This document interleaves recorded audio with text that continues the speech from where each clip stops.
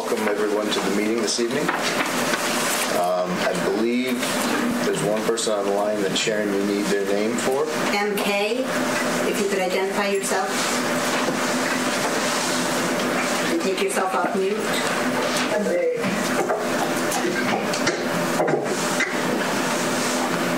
I have a Jill Harvey and an MK. Yeah, hi, this is Mukesh Kumar. Thank you, sir. We just need to get your name down for the record. Yeah, thank you. So at this point, we have a number of items on the agenda, but let me note a couple amendments. Number one, or first, first amendment is that the consent agenda item has been removed. And we've added a boundary line, a boundary adjustment between Linda Leclerc at 1 Leclerc Woods and Dilton and Sandra Jarvis at 11 Lamore Road with a preliminary and final public hearing. That's the amendments for this evening. Um, As we get ready to roll, anybody in the audience tonight, make sure you've signed in, please, so we have your name on the record. I'd also at this point like to ask anyone who's going to be offering comment either online or from the room, from the audience, if you could please stand at home, I'll take your word for it. Um, But if you could, uh, do you swear that any testimony you present this evening will be truthful to the best of your abilities? I do. Thank you. I do. Thank you.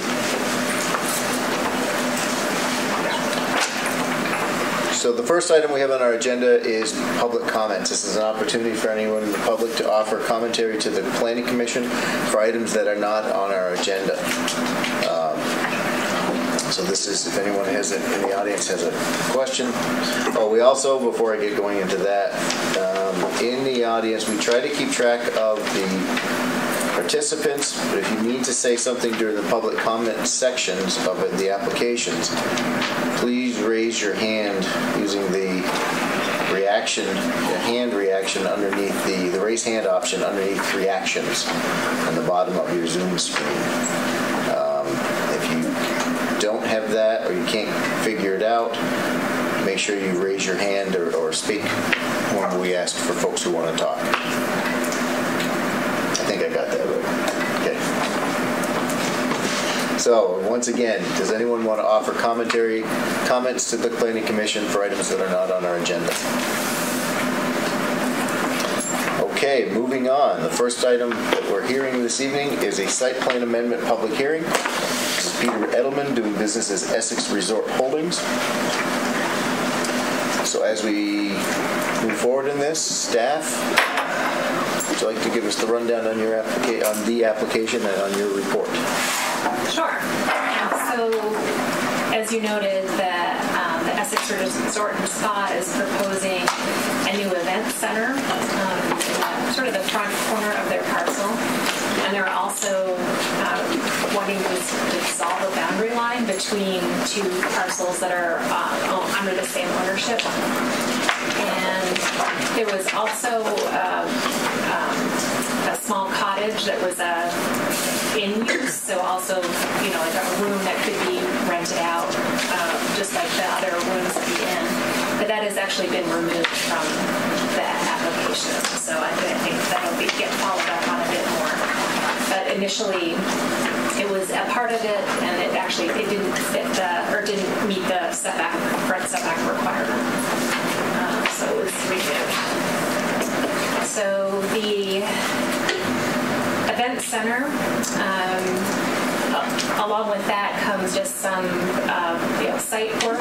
There's a, extension of the pond that is already in the front of the parcel. There's some changes to uh, access and drives and parking.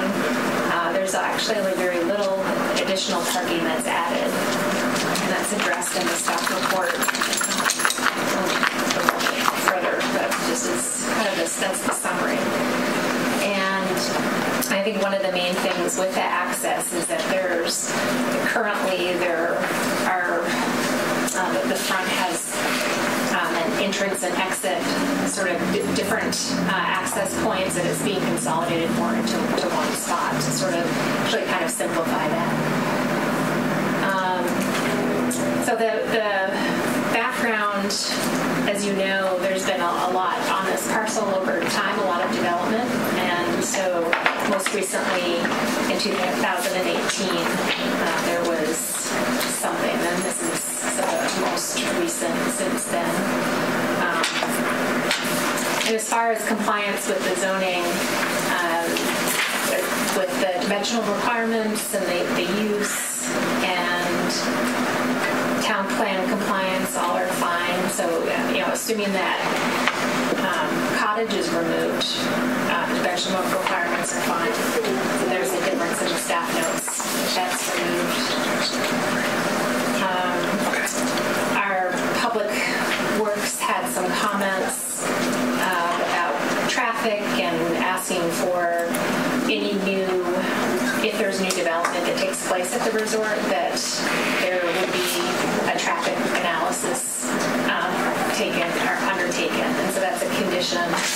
And I know that applicant has some questions about that, that if it's a small, small addition, maybe this cottage comes back in a different spot, would a whole traffic study need to be done for that? Maybe not. So maybe, maybe the condition could read a little differently, just to say that it may be required, uh, or um, if for a larger development, it would be required. So we can, we can kind of massage that a little bit if you're, if you're interested.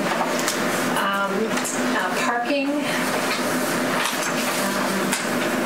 I, in analyzing the parking, um, there could be more parking required for this new event center if you're just looking at the total number of, of spaces. However, uh, the applicant has said that there are two, ar- there's an area that um, is really underutilized for parking, and so they don't believe they need the extra parking. Uh, there's a section in the zoning regulation that does allow for flexibility for parking.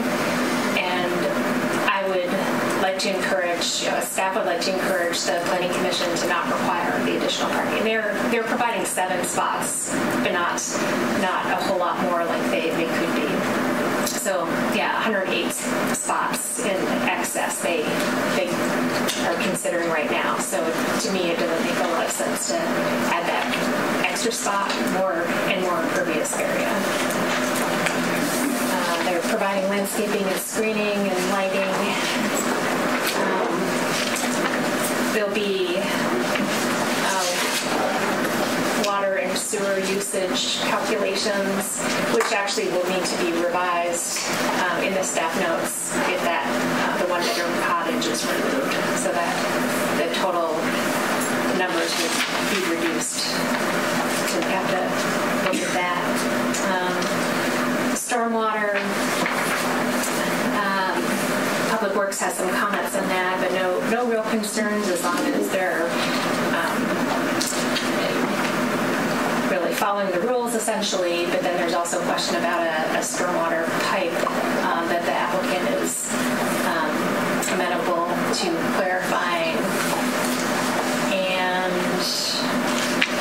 uh, the applicant has been working with the fire chief on some of his questions, and there, there are a few maybe to be worked out, but the fire chief doesn't have any hesitation of going forward with the project as long as he's got the opportunity to continue to work with the applicant and, uh, they'll um, be amenable to his suggestions. Uh, so the boundary adjustment is the other thing, and it's it's kind of a different boundary adjustment. We're not really moving a line, as I guess we are, we're just taking away a line. Uh, so there's no issues about um, conformity uh, with lot size or or making it a non-conforming lot. And I think that's that's it. So getting to the a potential additional finding by the Planning Commission. Uh, That's on line 374, I believe.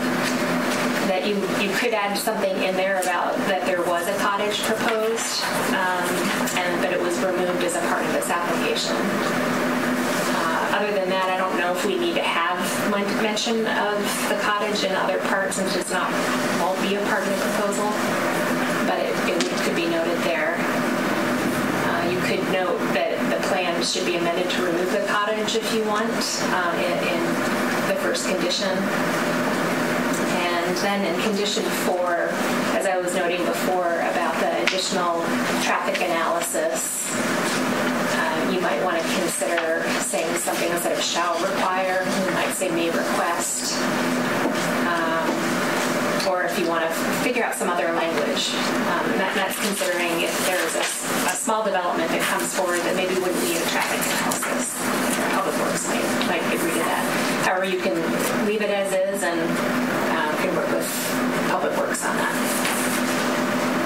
Quick question on that, Catherine. Yes. The traffic study generally is, if, if there's no additional, I would almost look at that as if there's no additional parking needs and the traffic wouldn't be to have an impact. So I'd almost think that we could tie it to um, uh, parking requirements. If the parking, if the use comes in and drives additional parking, then we would need a traffic study. That's, that's what came to mind as we were here. Yeah, that could be a way to handle that.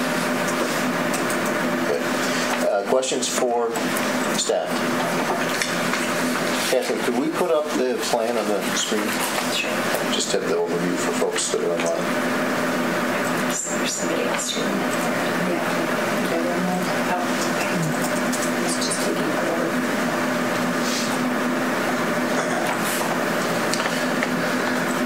Commissioners, no questions for staff? Um, I got a question. Okay.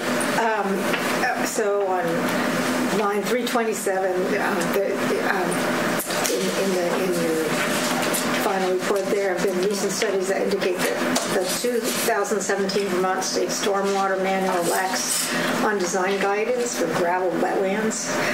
And I, something about um, that the wetland soil composition being approved by the state is shown to be leaching phosphorus into the system. Uh, Public Works recommends that the applicant's engineer consider these recommendations when selecting a soil material for the gravel wetland. So I don't know, is that something that's been addressed, I guess?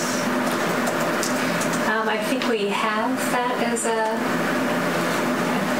oh, I meant that as a condition. It's not, I'm sorry, I'm trying to find the plans here. On page 10 through 27.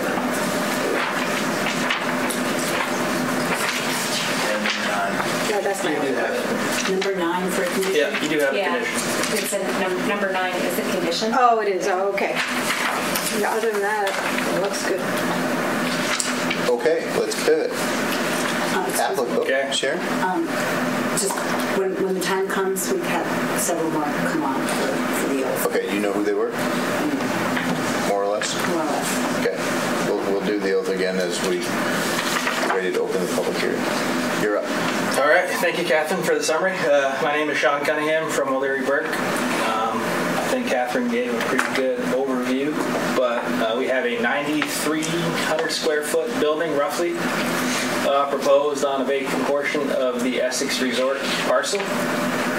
Uh, Catherine, when you get a chance, can you go to actually sheet two first? Oh, sure.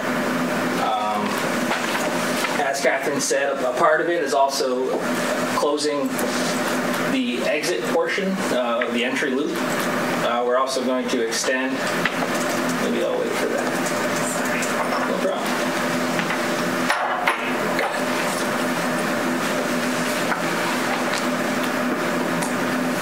We're also going to uh, well.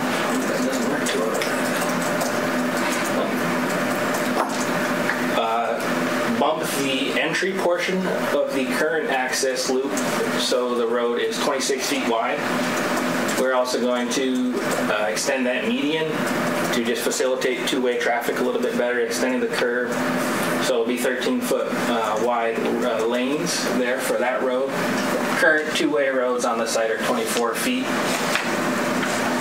Part of the proposal also in order to get us a little bit more space for the building, we have uh, moved the access road essentially right in front of our canopy um, turnaround, uh, seven feet there, and kind of shifted the road a little bit. There was plenty of room to work with the parking lot existing. As Catherine noted, we also have a small parking area and turnaround dumpsters, um, uh, service access road, and seven uh, additional parking spaces, including one handicap. Um, stormwater, uh, sheet flows to catch basins and grass swales as collected and sent to a proposed gravel wetland. Um, we are good with the condition to uh, try to use native soils instead of the wetland plant mix to uh, limit the phosphorus. Uh, There's also going to be some direct connections to the catch basins from uh, roof drains that'll go straight to the stormwater system. Part of the proposal also, as Catherine mentioned, is uh, reshaping the existing uh, human-constructed pond and also extending it. So we're going to be impacting the edge, retaining it, and then extending it essentially along the length of the building. We're also going to provide some landscaping on the other side of the extended pond to kind of screen our stormwater system.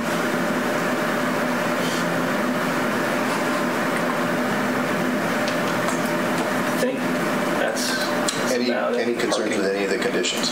Um, yeah, I think the only one was uh, what Catherine Catherine brought up. Uh, condition was Number four. number four. Right. It sounds like there's, there's, we we probably can have an opportunity to come up with a, Yeah, I think a discretion-based condition there, depending on size and impact, which I, I'm sure Aaron was would be amenable to, or kind of maybe what he meant anyway. But okay. Questions for the applicant, commissioners? Dave? John? Good. Patty? I'm good. Then, before we open the public hearing, Sharon let me know that there was some new attendees online. So any folks that were online prior to, or came online after the meeting had started, I'm going to ask, I'm going to repeat the oath, and I'd like you to please respond in the affirmative. Okay, well, you're not allowed. You had the opportunity, you're not allowed. You you can't say anything. Come on, just make pretend I'm. Anybody, uh, do you swear that any testimony you present this evening will be truthful to the best of your abilities? I do. I'd like you. Thank you. And I do have just a couple names. Ken, if I could have a last name. It's Kieft, K-I-E-F-T. Thank you. And I think I had, it just says iPhone. So if somebody's calling in from an iPhone, if you could give your name.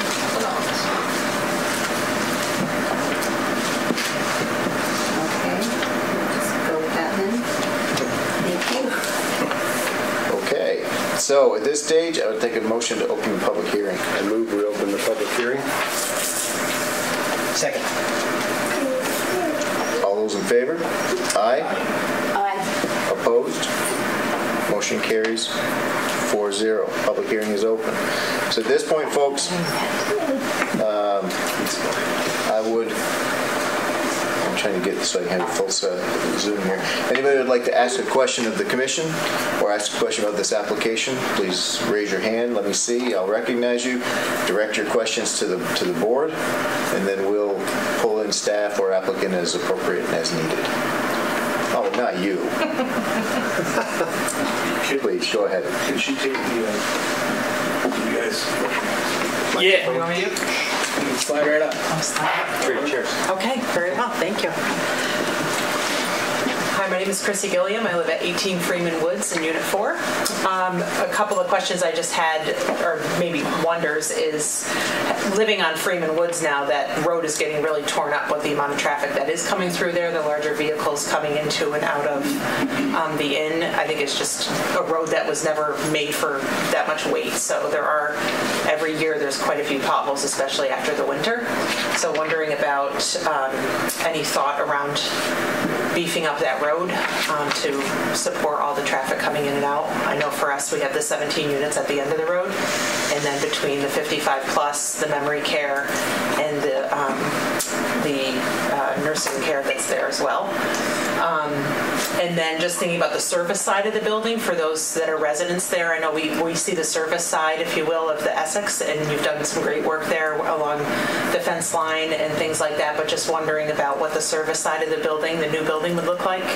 And um, I heard about the screening of, of plants and things like that. But it would be nice to give some thought to what that might look like for the residents in that area. And uh, the other one was, and I talked with the town about this, they said that their hands are tied on it, but a stop sign possibly on the service entrance. Uh, There are a lot of people that do use that, whether it's um, people that work at the inn or guests there, and they often don't even stop. So there's been several times that many of us at the end of that street have either had to come to a quick stop or been almost T-boned by people coming out of that road. The town had said that it's not their property, so they won't put a stop sign there. Um, But it might just be a a nice gesture to have that there to give people a a pause before coming out onto Freeman Woods. Okay. Thank you. Okay, Is that, is, is that road town road? that's a town road. So that So, the not condition really for road- us. The condition goes to Public Works. Um, And do we have any? Has there been any feedback from Aaron on on condition or degradation of uh, over time? I, I haven't, um, it would- didn't come up as a part of this review. And I- and I agree, but I question it, is Freeman Woods is, is the town road, but is, is is she talking about coming off your private lot? She originally was talking about Freeman Woods, the, the quality of the road currently. Yeah. Um, and then she had a question about uh, adding a stop sign, I believe, next to the new building. Um, Where the, the existing in between um, the parking lot that is the 55 plus And the your residences, and the Essex residents. Yeah, so it's that, that, that access road that's always being used, but that, Okay. again, I don't know if that's, the town said it's, it's not their jam. So if it's coming out of that building, that would be on, that's not town road, right? No, that would be, well, depending on where it was. Right, so I think that's something we can So there's a. cr- Are you talking about where Catherine's pointing at the crosswalk right now? Yes. Okay. She's talking about coming out of there. Yeah. Yeah, so that, that, Okay, so we can talk about that. Um, And, you know, looking at the building, I'm not sure what the service side of the building would be considered on this, because it looks like it's. The service side will be the Freeman Woods facing side. And it'll look just like this. Uh, with some, with a utility pad in the middle. Okay. It'll be screened Great. uh, nicely with some green. Perfect. And then, you know, we're gonna, we're maintaining most of that wooden, wooden edge Okay. um, by the road, and then where we, where it's a little bit, Cleared out a little yeah, bit where it's now. been Yeah. cleared, that's where we're adding landscape. Okay, awesome. want to go back to sheet two. Shows that. Sheet two. There's three. I heard a little voice from the audience.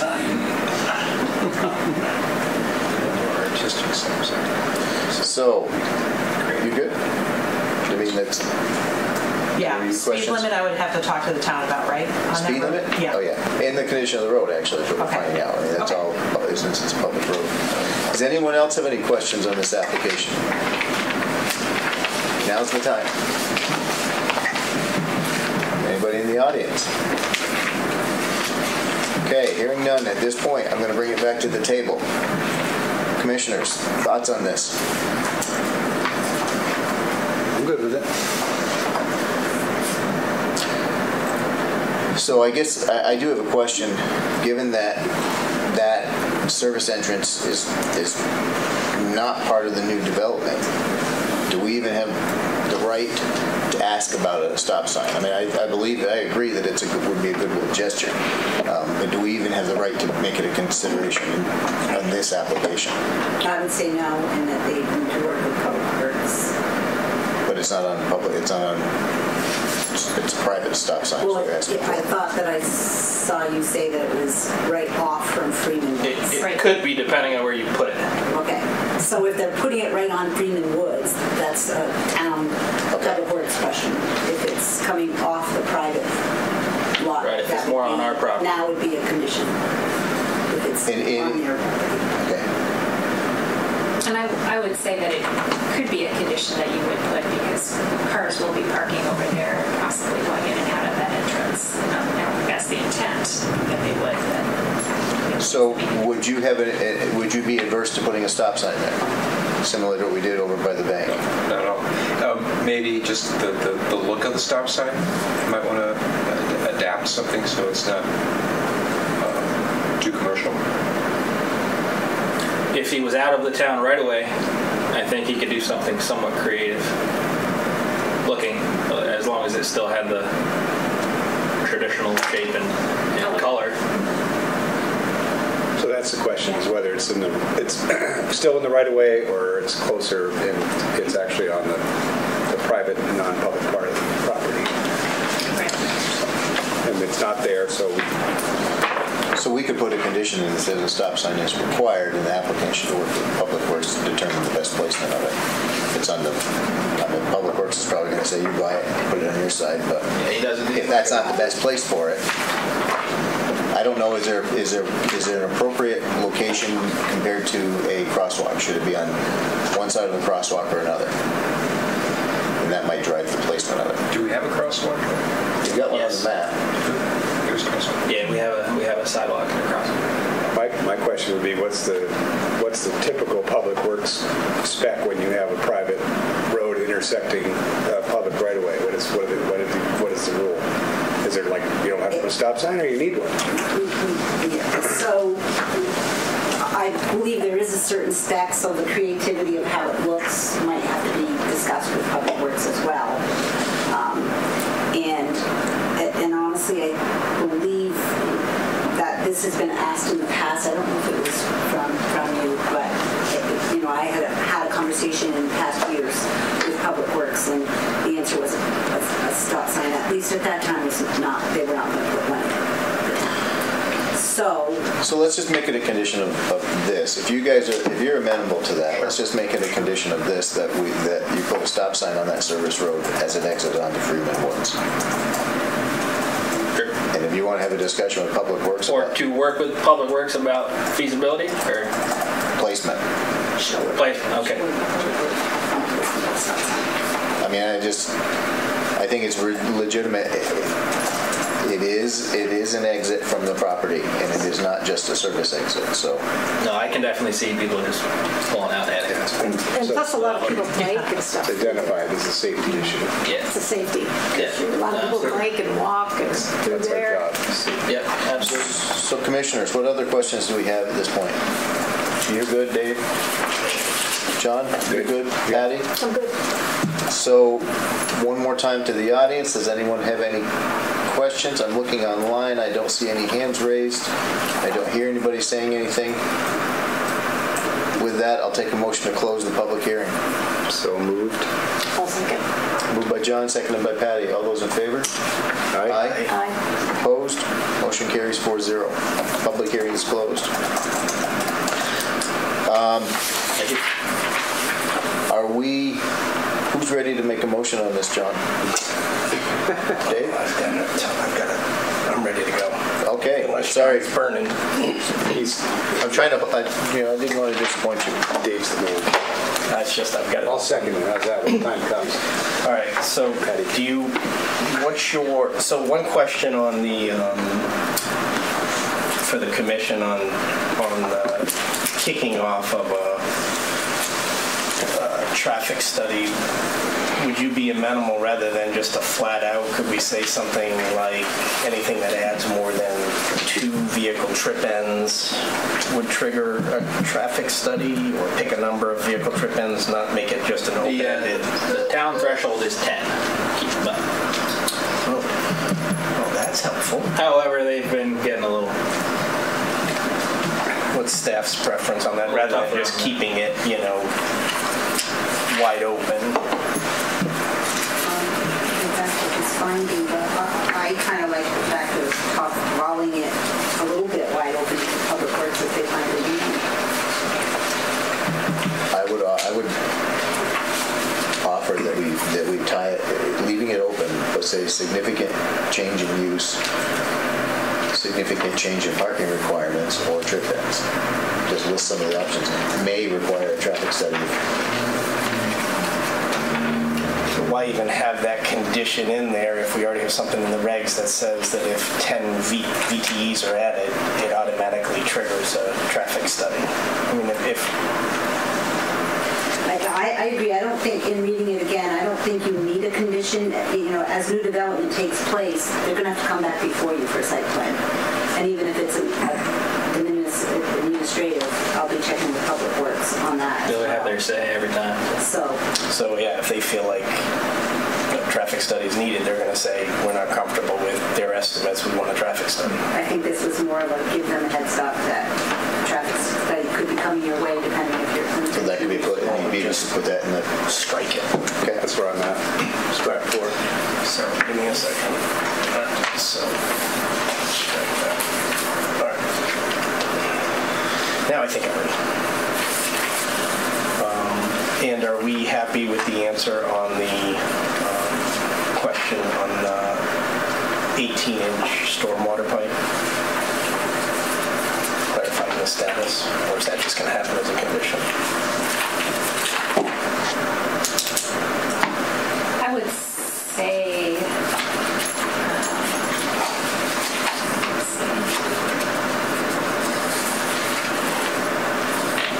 I'm sorry, so it, it, it's not a condition right now. It is, it's It uh, 1A, so it just Oh, right. plans clarified.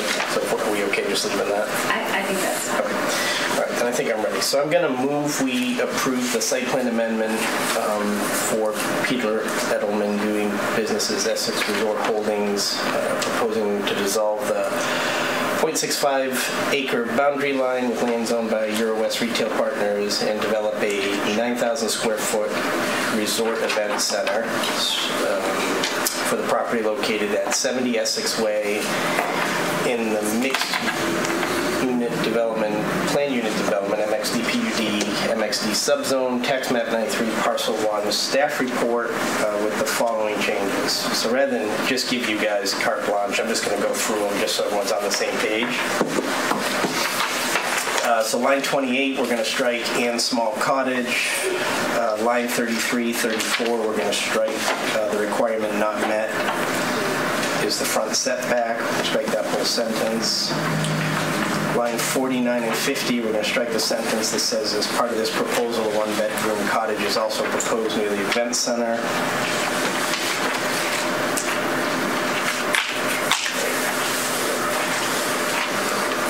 Lines 162 through 168, all referring to the cottage, we're going to strike those. Can you just tell Wait, slow down, 162 to, 162 to 168, Okay. proposed one-bedroom cottage is located within the required, we'll strike that whole paragraph.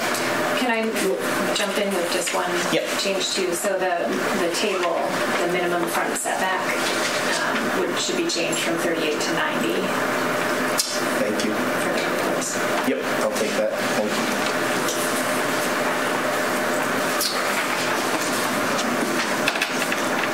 oh, okay.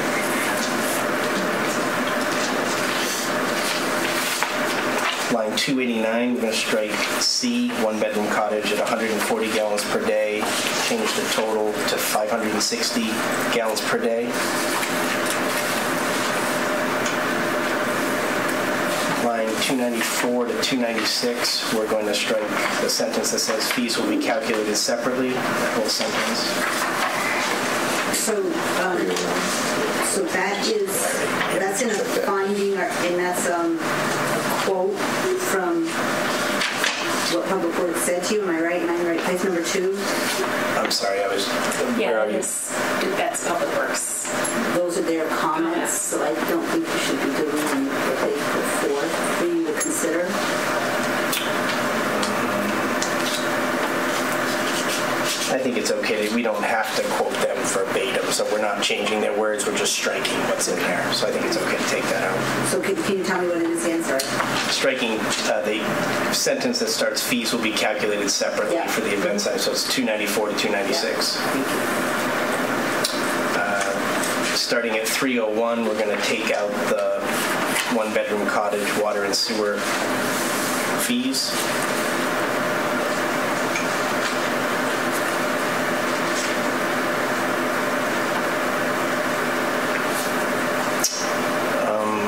Planning Commission findings, we're just going to note, uh, this is new language. At the start of the presentation of the application, staff made the commission aware that the applicant has withdrawn the request to construct the cottage as it did not meet the current zoning setback requirements. The commission has requested that staff remove references to the cottage from the staff report. So Just capture both of those. Uh, Condition four, we're going to strike. Back to the finding. Yeah. We add something in there to say we're requesting a stop sign, Uh, I've got a new condition for that. but just a finding?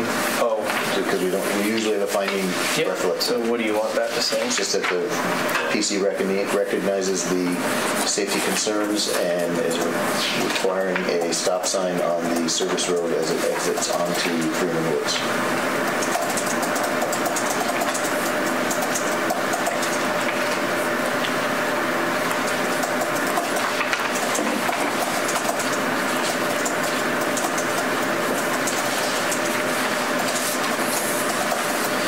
Uh, Safety concerns as the service road exits on the Freeman Woods and agrees a stop sign is warranted. And then new condition, um, I guess it'll be new, doesn't matter, I'll let you number it. Uh, Applicant shall work with Public Works to determine the best location and placement for the applicant to install a stop sign um, onto Freeman Woods, service entrance onto Freeman Woods.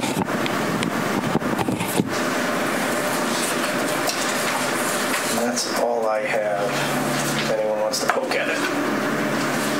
I'll second it. Dave, seconded by John. Is there additional, any additional discussion, thoughts, questions? So the stop sign is going to be it- At the end of the service road, where it intersects Freeman Woods. Okay, where it Off of the original, um, so off the original building, existing service road. David, are you working from the PDF file or A word. a Word?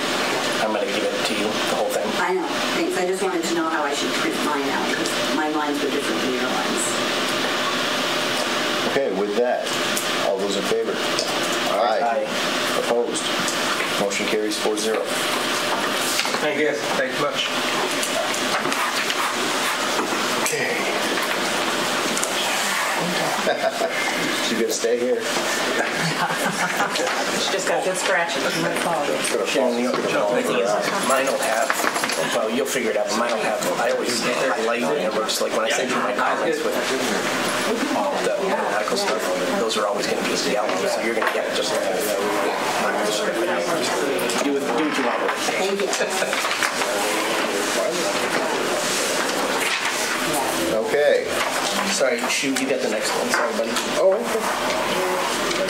Next up, next item on the agenda, boundary adjustment between Linda Leclerc and Dalton and Sandra Jarvis.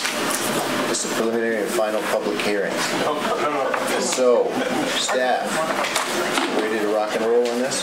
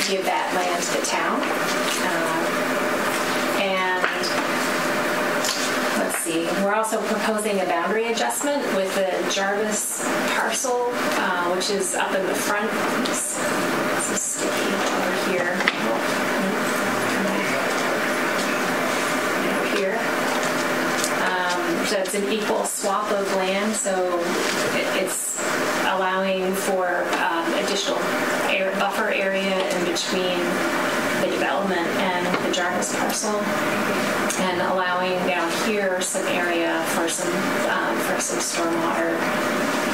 Uh, I don't have the- that plan pulled up, so it's a little hard to see exactly where that land is being um, conveyed. Um, but I can pull that up if you want to take a look at that. So this is, this PUD is a part of a larger master plan, so there's been quite a bit of development over time on this parcel. And we're nearing the end of what can be built, and I think the applicant can talk to that a little bit more. So you could see this, uh, this master plan come back at some point with a a little bit more development. Um, So, looking at the staff report, um, just in a little bit more detail. um, So, I said before eight lots, and that includes the open space lot as well as the um, seven additional residential lots. And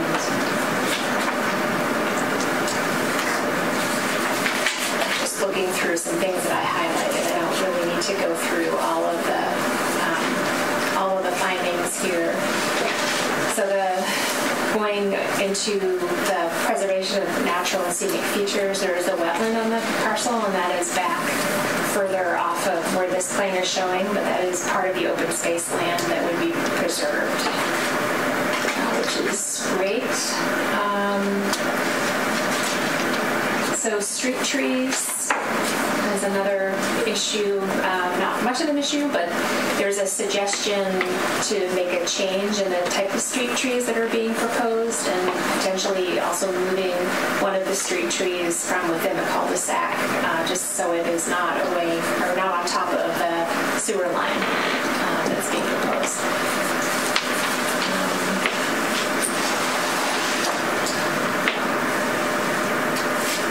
So the street that's being proposed would be a new public street um, named Kodiak Lane, potentially. And it, the street itself does meet the requirements. Um, Public Works does have a couple comments uh, related to, to traffic and um, the geometry of the road. And there's a suggestion um, to relocate the, um, the approach the bridge. And I think probably uh, the applicant did get more into the, the detail and, and point that out, but they are amenable to work with the town and with Public Works on this, which is good. Um, So I don't think we'll have any problems there. Um, There will be a road impact fee that's going to be um, required, but sort of in, in line with this, working with the approach to the bridge, there could be a reduction in the fee, the road impact fee to, um, to help the, the site lines and um, approach to the, the bridge. So that's a good thing that's, uh, we're working with the town, or the applicant's working with the town on this, on the realignment. So the open space, um, there's a proposed footpath that's shown on the plans, and it actually doesn't show actually on this one, but it goes all the way back. I think when, this is before my time on the planning commission, I think when this was here for sketch plan, there was discussion about that, and was that really feasible? Um, Would it be used? Is it safe to be used? Sounds like there was agreement that it should stay on the plans. I think the applicant would like to talk about that a little bit more tonight, that maybe, maybe it doesn't need to be required. Would it ever really hook up? Um, And if, if it is something that the planning commission would like, do we, do- it- there's no real connection for it now, so would we actually need the easement? Could it be something in the future that the town reserves the right to get an easement. It it really depends on how you feel about this and, and what you feel like is, is best um, for this area. I think on the, our town plan shows a connection along there, but I think it's more along the surf as opposed to up on, up on top of the ridge where it is. The applicant's proposing private water and wastewater systems, and Public Works has some comments about that. And as long as the applicant um, agrees to these conditions that Public Works has stated, uh, that the system should work and they're supportive of it. Uh, As, excuse me, along with the stormwater management, um, as long as these conditions are followed, we'll be fine with that. Um, And the boundary adjustment meets all dimensional requirements, so there's no, no issues there. And I think that's it on staff side. Questions for staff? Dave? Patty? I think I'm good. I do have one, but I'm gonna hold it until we get, so you guys, you guys are up? Okay. Uh, Sean Cunningham from O'Leary Burke again. This is Patrick Leclaire, uh, the applicant. Um, Catherine, once again, nice explanation. Um, it's an eight-unit PUD, uh, proposed public road, 24 feet wide, 18 feet uh, at a circle. That would be a one-way. Um, shared uh, water system, uh, shared septic system. There's a pre-treatment units for uh, every two units for the septic. Um, we are okay with the conditions on the street trees, replacing some, the Japanese lilacs, and trying to move uh, all of them out of the right of way.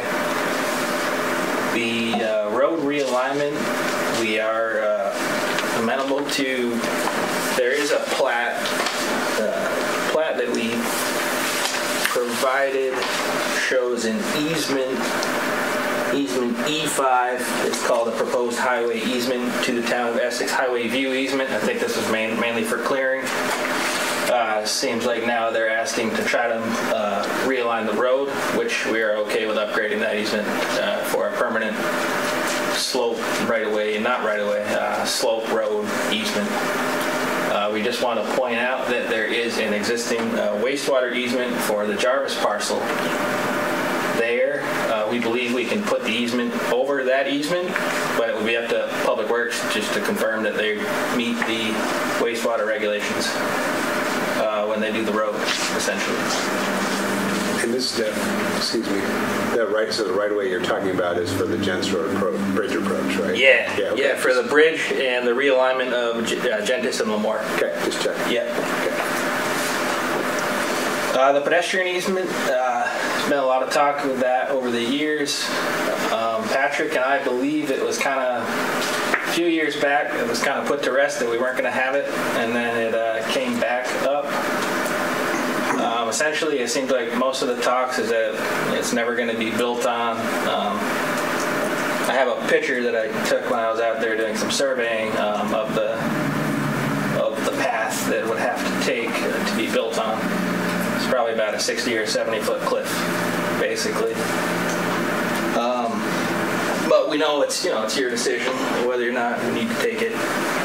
Uh, if we do need to take it, we, as Catherine said, um, we would love to if you considered a condition where it's an approval condition that an easement could be executed when the town says they want to execute it and act on the land to actually put a path in. Patrick has, uh, currently he has a lot of trespassing, loitering, camping, um, bonfires on his father's grave, uh, things like that up there. And uh, he doesn't want to uh, draw more attention and have more opportunity for that on his land. So yeah, that's the path. Um, can't see them great from there, but there's some pink flagging that's the approximate property line. So our easement currently on the plan is that line is the property. So that line and 20 feet to the left as this pedestrian easement. Probably on that. Um,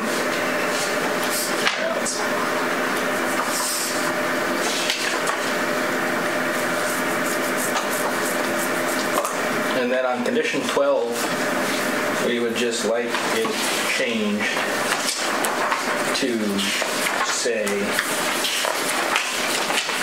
um, that the payment, whatever the payment uh, to Public Works for the traffic impact uh, turns out to be, it sounds like it's going to be almost negligible just because we're working with them, but uh, as Public Works suggested, they'd be okay for it to be delayed till after the first CO, so we would just like to have that added to condition 12.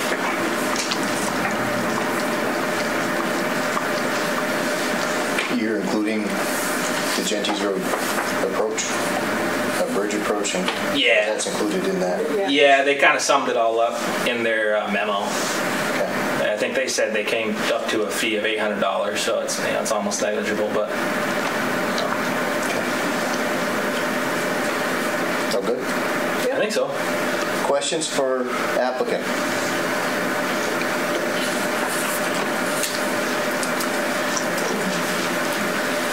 I've got one for, I got one for staff.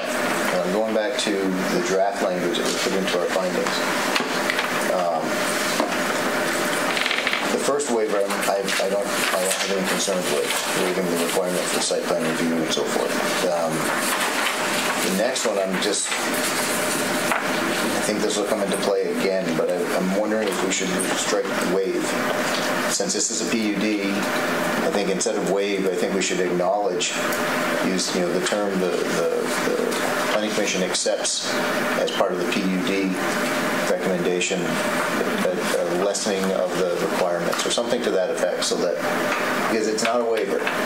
It's, it's, again, this, this goes back to, we're using a a PUD to enable waiver is outside, and this is how PUDs are supposed to be used, I don't see it as a waiver.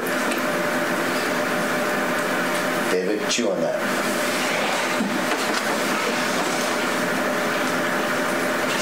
The planning commission acknowledges a reduction to the minimum lot frontage and just pick it up from there. Yeah, it's, it's a, it's basically due to it's a PUD. I mean, we got, I think we have to start recognizing and acknowledging what the PUD is providing, not just that we're waiving the requirements, because we're not. We're, we're trying to use PUD as it's, as it's intended. And it's not outside of the, you know, it's not, it's not a waiver. Yeah, there's language in the PUD section that allows for that creativity and flexibility. And, and if we can pull it from there, even just to say that it's you know, an acknowledgement of whatever. Planning commission acknowledges the application is a PUD and the minimum lot frontage setback and side provisions enable the creation and just Whatever we got for language, I mean, we've got, we've got language to reflect, it's just, a- let's, let's start being, let's start doing this the way we're trying to use it. It might help us when we're trying to evaluate these when they're coming in. Mm-hmm. With no, mo- with no questions for staff or applicant at this point, I would take a motion to open the public hearing. John? So moved. Patty? second. See how easy that was? Moved by John, seconded by Patty. All those in favor? Aye. Aye. Opposed? Motion carries 4-0. Public hearing is open. So as with the last application, if anyone wants to offer commentary or ask questions, raise your hands, either in the room or virtually on Zoom. Ma'am, in the back, to the left. Can we come up to the front? Yes, please.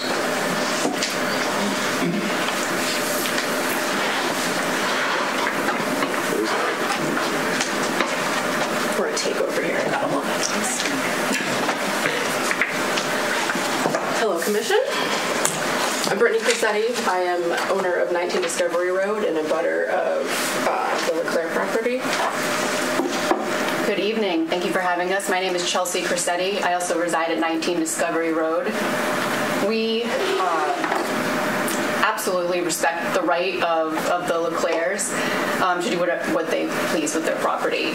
We've been uh, abutting their property for nearly 40 years, and we absolutely love it. We love our property. However, it's not even listed on the chart here.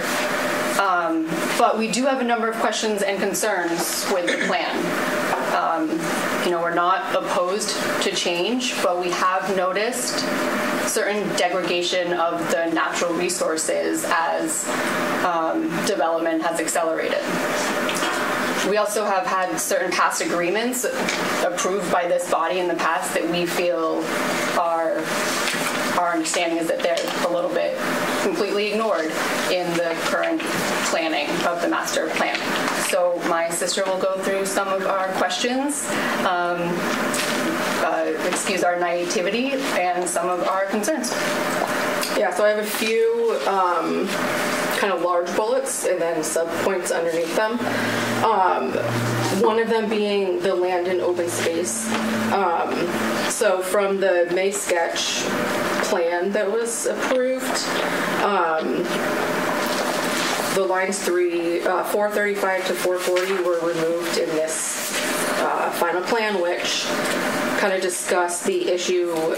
Um, you know, you got the 4.7 acre lot down here, and then the open space up there. There's just no connectivity between the two, so it's confusing to me how one that's being allowed to be used as calculation of the PUD, um, and then what is the actual benefit of having that open space if the residents at this PUD would not be able to actually access it. Um, and as they mentioned, it's a 40, 40 to 70 foot cliff, whatever it might be to get up there, um, which is, as it is currently, nearly impossible. Um, let's see. Um, Oh yeah. So then one of the questions I also have is there's multiple findings listed out in this plan um, that are nowhere to be found in any of the documents that are available online um, or in any of these plans. So some of them list these are the findings that allow for this to happen, but they're not available to us to see what those were. Such as? Every single one.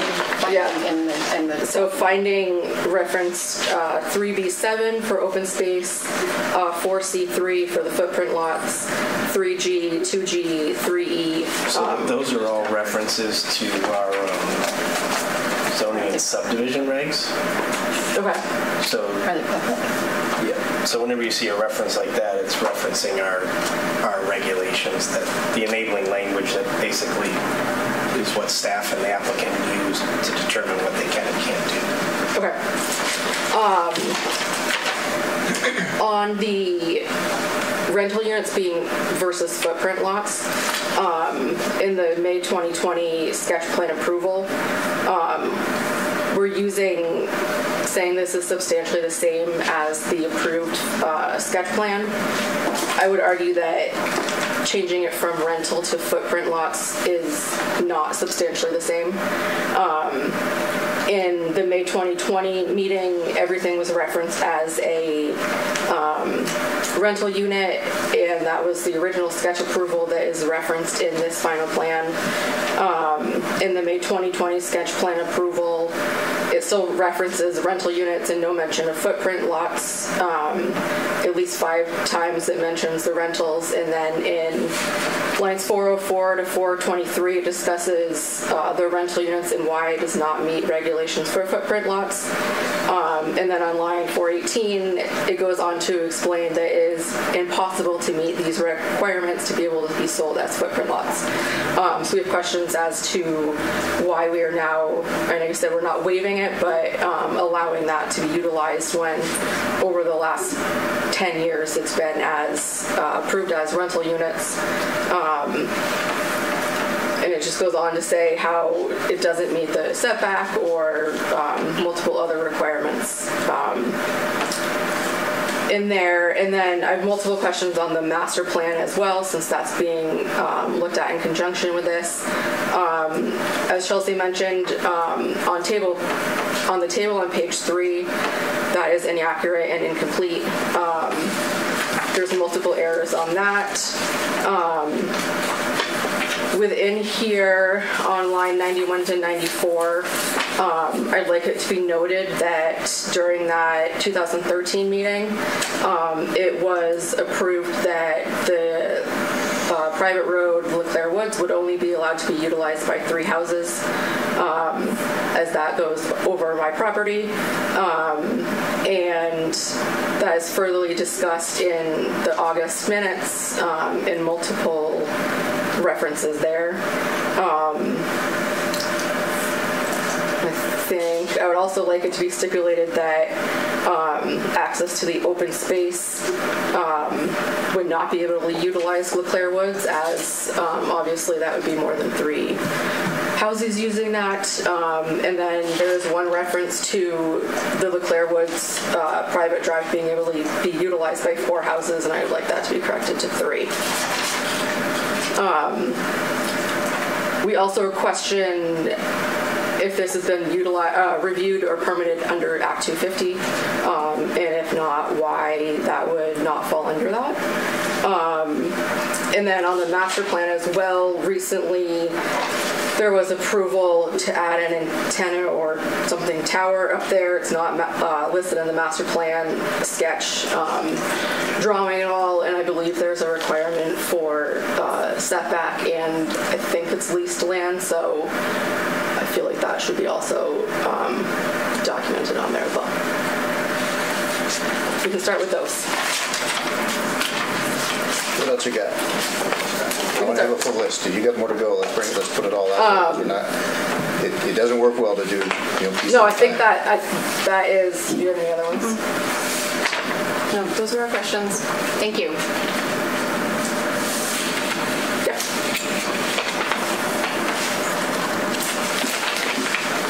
Thanks for your time. Don't go away. Oh, yeah, we're oh. not, We're- We're not done.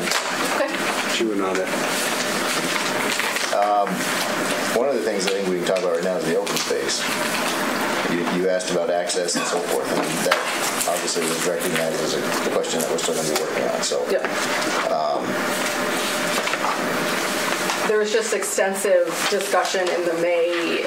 Remember also, or realize that sketch plan that was done is a sketch plan, it's one phase, and, you know, things, things can change between Yeah, no, sketch and preliminary, they can be dropped, they can be added, so even if something was approved, and I've been here for most of the plans submissions, and none of them to date have met requirements. So even at sketch plan, there were, there were serious concerns either from Public Works or from the Planning Commission, and I think the applicant is, is well aware, and what they brought forward today, or for this meeting, is a significant change in what they had before. Whether it's rental or footprint lot, I mean, that's, that's not so relevant um, to the review. It really is the, is the layout and the road. And Public Works has been a key, a key component of the drive and the access, which has been the primary limiter up to this point um, to putting in uh, the development as requested. I think the initial, the initial request had a hammerhead turn, more units and a hammerhead turn. And this is a reduced units with a loop road. Public Works is behind it. So, you know, recognize that a lot of the concerns are based on this lot. Catherine, do you have any, anything come to mind for responses at this stage? Uh, So, just a reminder too that it's a master plan for the whole parcel, not just the, this portion here of the PUD. So the open space is um, accessible to all the, the units, but the plan is to turn that over to the town, actually, for more conservation purposes, not necessarily for public access or recreation it's not really well suited for that with the wetland. And um, I think there's some trees there that are worth conserving preserving.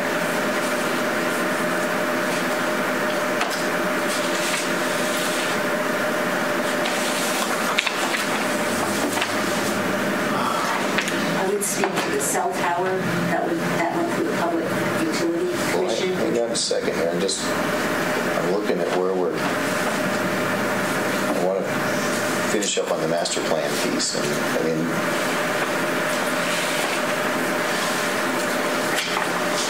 we're not, master plan hasn't been submitted for review or adjustment, amendment, correct? I mean, we're working off from the master plan as it exists, we're not, there are no changes to the master plan as proposed in this application. Not, no, no, no. So that more or less takes the master plan off from the table tonight.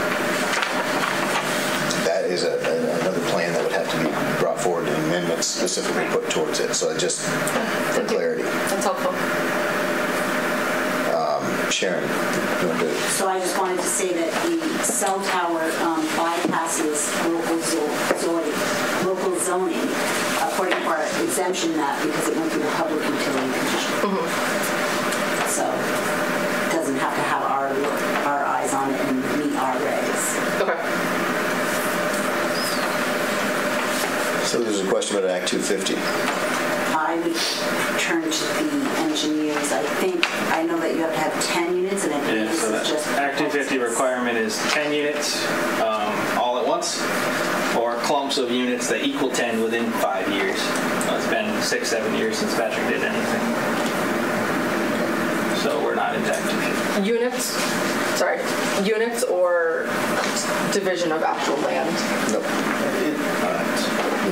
It's units. Uh, so it's either units or lots. So we're doing footprint lots, but it's not a combination of the two. So you don't add units and lots. It's not eight footprint lots and eight units is 16.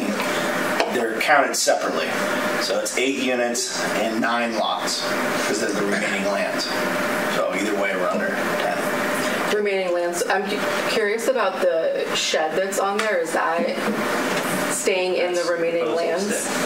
Yeah. Not its own separate, are be part of the actual association land? That's correct.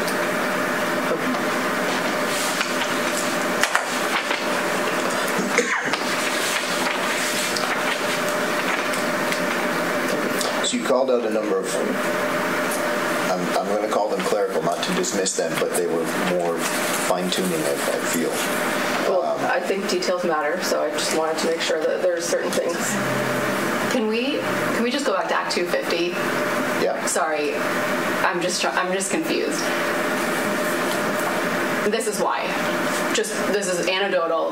We've lived there for 38 years and grew up six people in our house and we've never run out of water once.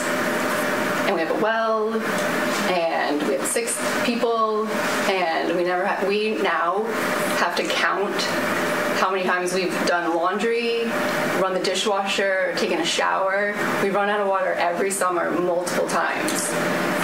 And I can't imagine that's not due to development on, you know, what I, I think is mostly ridge, ridge line. Um, from, from new construction. So that that is what makes me more curious about Act 250. Um, you know, we have to now get quotes to dig a new well um, or frack our well. And it's just the two of us living there. And, and it's very, very, very frustrating.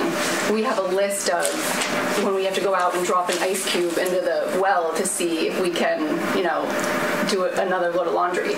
We can't, you know, water the lawn. We can't, you know, hose down the house. Um, we will we will run out of water. We ran out of water for four days this summer, um, and it's and it's frustrating and it's sad to us. So, if there is any way that we could get an Act 250 study, we would be really appreciative of it. Of it. So we don't, we don't have any control over Act 250. We, that's, that's triggered by whatever the development rules are. And, and anything that has to do with your, with your water or the hydrology mm-hmm. is the engineers and the state. So there's no way that There's not, it's not anything the town can do anything about it. Um, and as long as they're being anecdotal, my well is running dry. Nobody develops around my house. I think everybody's wells are suffering a little bit. It's, it's a climate thing as well. That's my guess. I'm not a hydrologist, I'm not our, an our new neighbor's well is not dry. So, um, right, so you don't, you never know. Could be when Right, they, they did know, the cut for 289, who knows? That's exactly right. So, um, my, my, your best bet would be if you have concerns like that is to, is to turn to the state because they're going to be the ones who can help you. Am I right about that, Ryan? Uh, yes, and that's separate from Act 250. Yeah. So we're going to get a WW permit, uh, whether we're Act 250 or not. What's it? Which what's- we have. oh, Wastewater. Thank you. Yeah.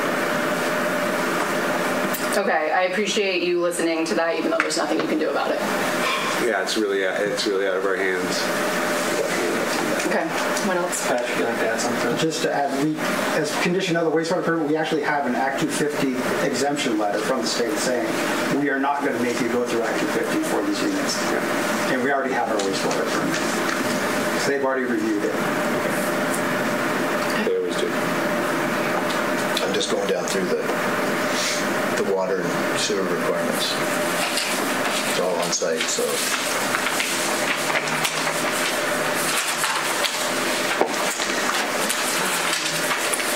So you referred to the um, degradation of natural resources. What, you- what were you referring to with that? What, what do you, what is your wa- observation? the, the water table. That's really what you're talking about as a natural, okay. It's not anything more than that? No, no, no, no. Okay.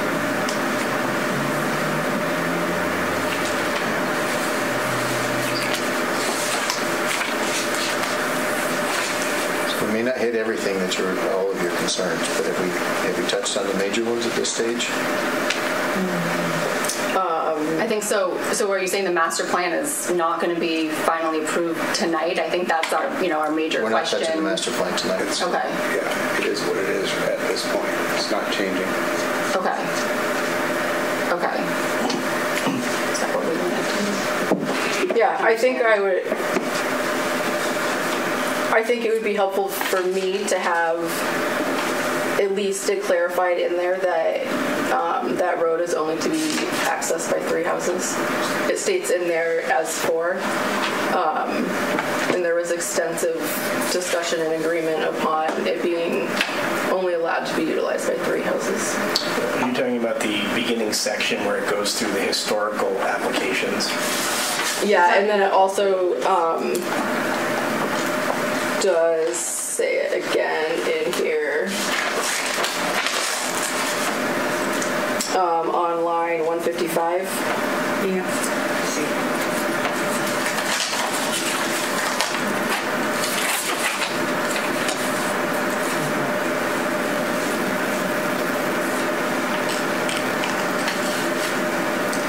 Now, wasn't that a, is that a private road? It's saying that it's private road. It's private, it goes across uh, my property line. No, that's not true. It was moved.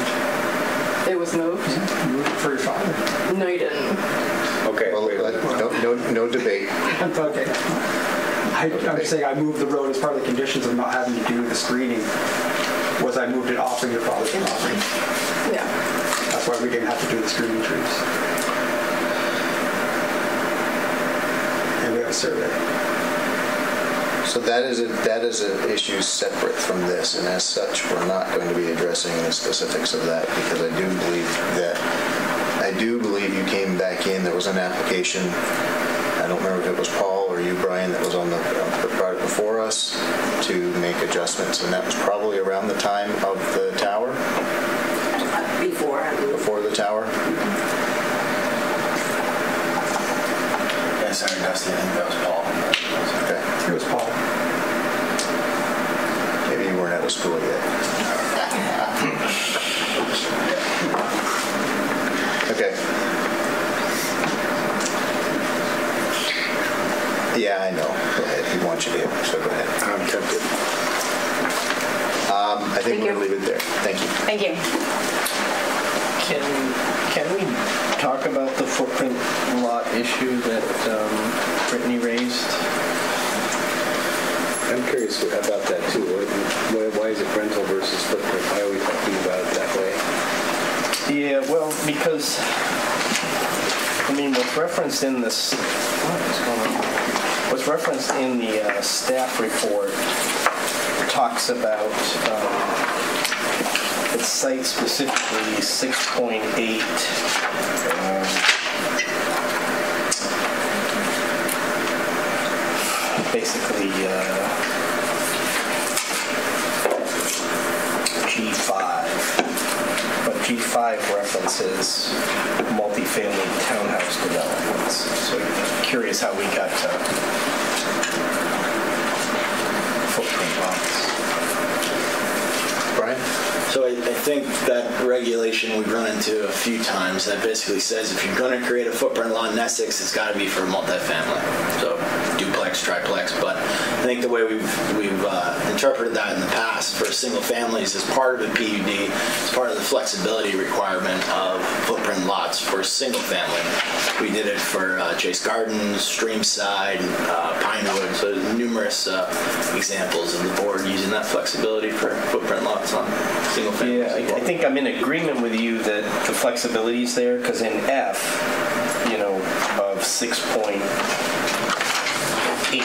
6.8G. F allows you to, it says planning commission may authorize a reduction in the minimum lot size, minimum lot area per dwelling normally required, but the only discussion of footprint lots within the PUDs is for that multifamily townhouse. I know we've had this discussion back and forth, but I'm not sure we want to call these things footprint lots.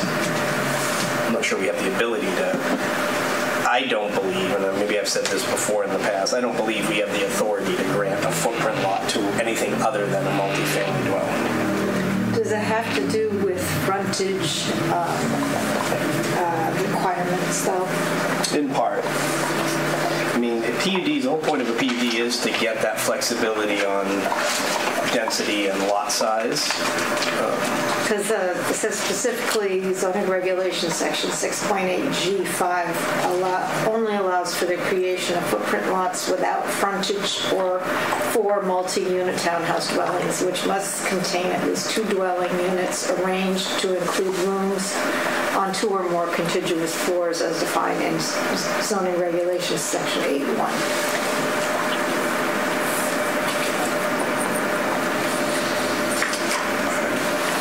Where does that leave us? How- How much we want to debate that, but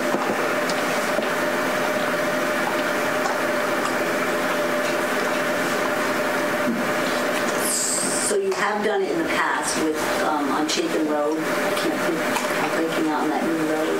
Those units. the one that, uh, that Sterling did? Yes, th- so they are, they are multi-units, but one was a single unit.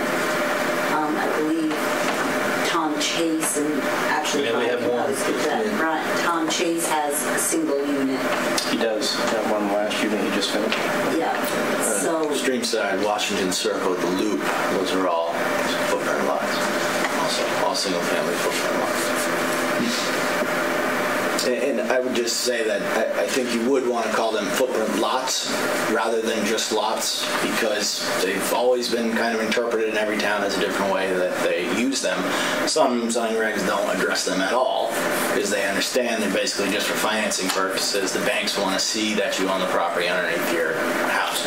But when you call them lots, you get into setbacks, coverage, you know, frontage, all those other things that go with it. But it's kind of this, you know, weird financing things that attorneys came up with, uh, you know, during the housing crisis that help with financing. So that's why uh, we typically go the footprint lot route. But if, if uh, I, I I would think that uh, keeping them as uh, denoted footprint lots rather than lots, you know, that would save boundary line adjustments, say, in the future, or, or just kind of denoting them in this own their own box rather than calling them, you know, maybe official lots. So we added a definition of footprint lot years ago as a result of, um, up at the town center, the, the- the first, the first building built the, um, town mall Ace Hardware, and we had different personnel on, and they, they gave the building, and then they gave some parking area, and it was a non-conforming lot, basically. So we ended up getting a legal opinion to develop a a footprint lot definition, a parcel of land which consists solely of the area directly under a structure. And that's how we have been going forward with those. So maybe our regs have to catch up. But You have, you do have precedent as to when you allow these single family. Definitely need to put it in the parking, parking lot. For, uh, for review, for, for, especially if we're gonna be dealing with the PUD thing anyway.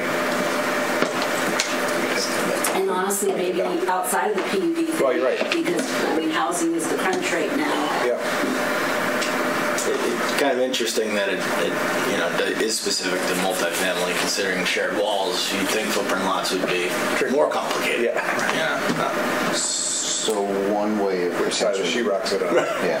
Yeah, you try to get it to line up perfect. Some Shared walls. Some PUDs, um, like Sharon was saying, that that they, they have small homes built, but they're they're the pe- people pay homeowners, you know, like a regular condo place, but the houses are separate. Yeah. So the owners just own the home Yeah. that that. That the land, the piece of land that that house is built on, maybe just a few feet Yep. front and back, and then the rest is common. Correct, and, and that's exactly what we're, we're proposing. Sometimes like a carriage home, they call it as well. So if, if, if, in this case, I think if we exercise the flexibility that F gives us, we can specifically say reduce the reduction of the minimum lot size to a footprint lot. Call it out, it's not a waiver, it's, it's leveraging the PUD op, you know, option, and we're reducing, we're doing what, what F wants us. F wants us to do, which is to reduce the the minimum lot size, and we just specifically call out that we are reducing the minimum lot size to be a footprint lot. And Another thing that came new to me that I had to get a legal opinion on was your, um, if you guys recall the, um, the Fountain Two Lot PUD off Brigham Hill Road, and it was denied because it wasn't clustered enough, the houses weren't too close. They ended up condoizing two houses on one lot because our regs allow that. So that was a way around, So no subdivision. no subdivision. Yeah, con- condo plans are fairly, fairly common and usually, you know, our way around zoning. It creates other complex, you know, complicated issues, uh, title issues, but not preferred, not nearly as clean, but.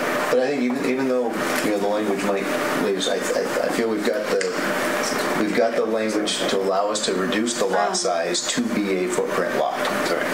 We have this on the parking lot for the zoning regs to change. It is as if, you- well, yes. Yeah, good answer.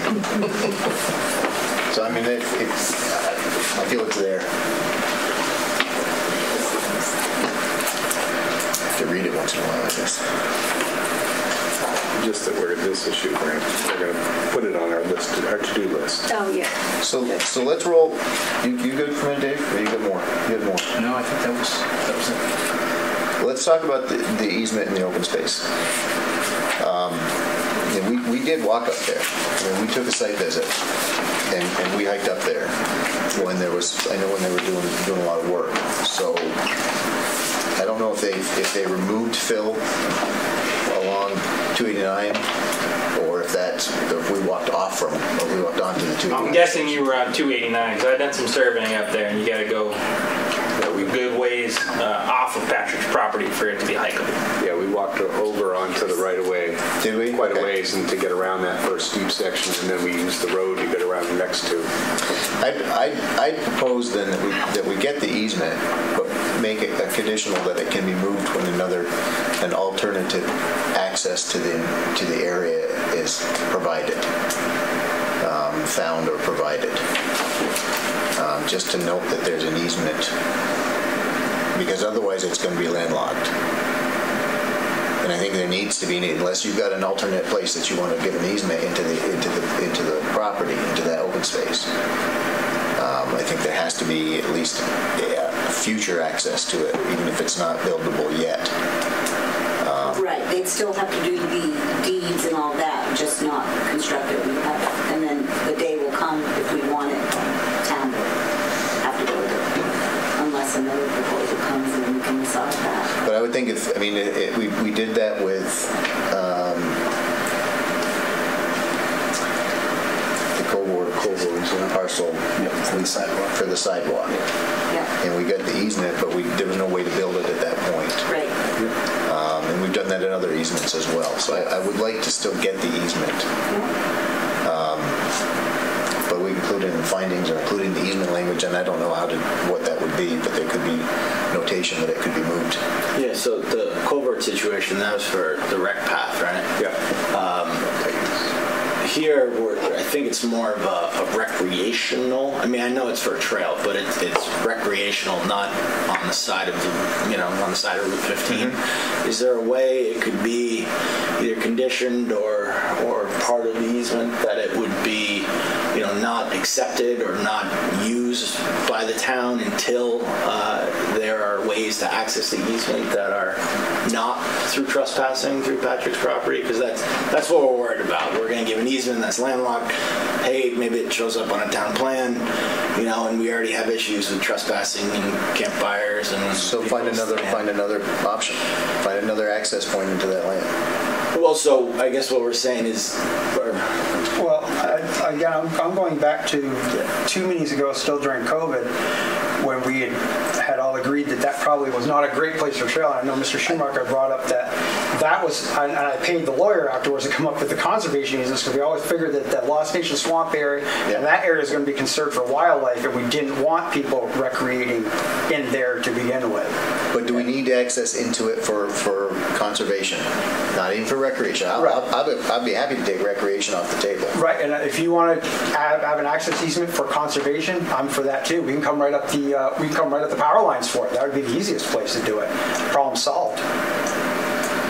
Because I still own, I still have an easement on that road, and I still own a hunk of land all the way on the power lines, and we're not dealing with that giant cliff. And now you're actually getting straight shot direct access off of Discovery Road right into that actual conservate, conserved area. And you're not dealing with terrain and roads and we're not dealing with this.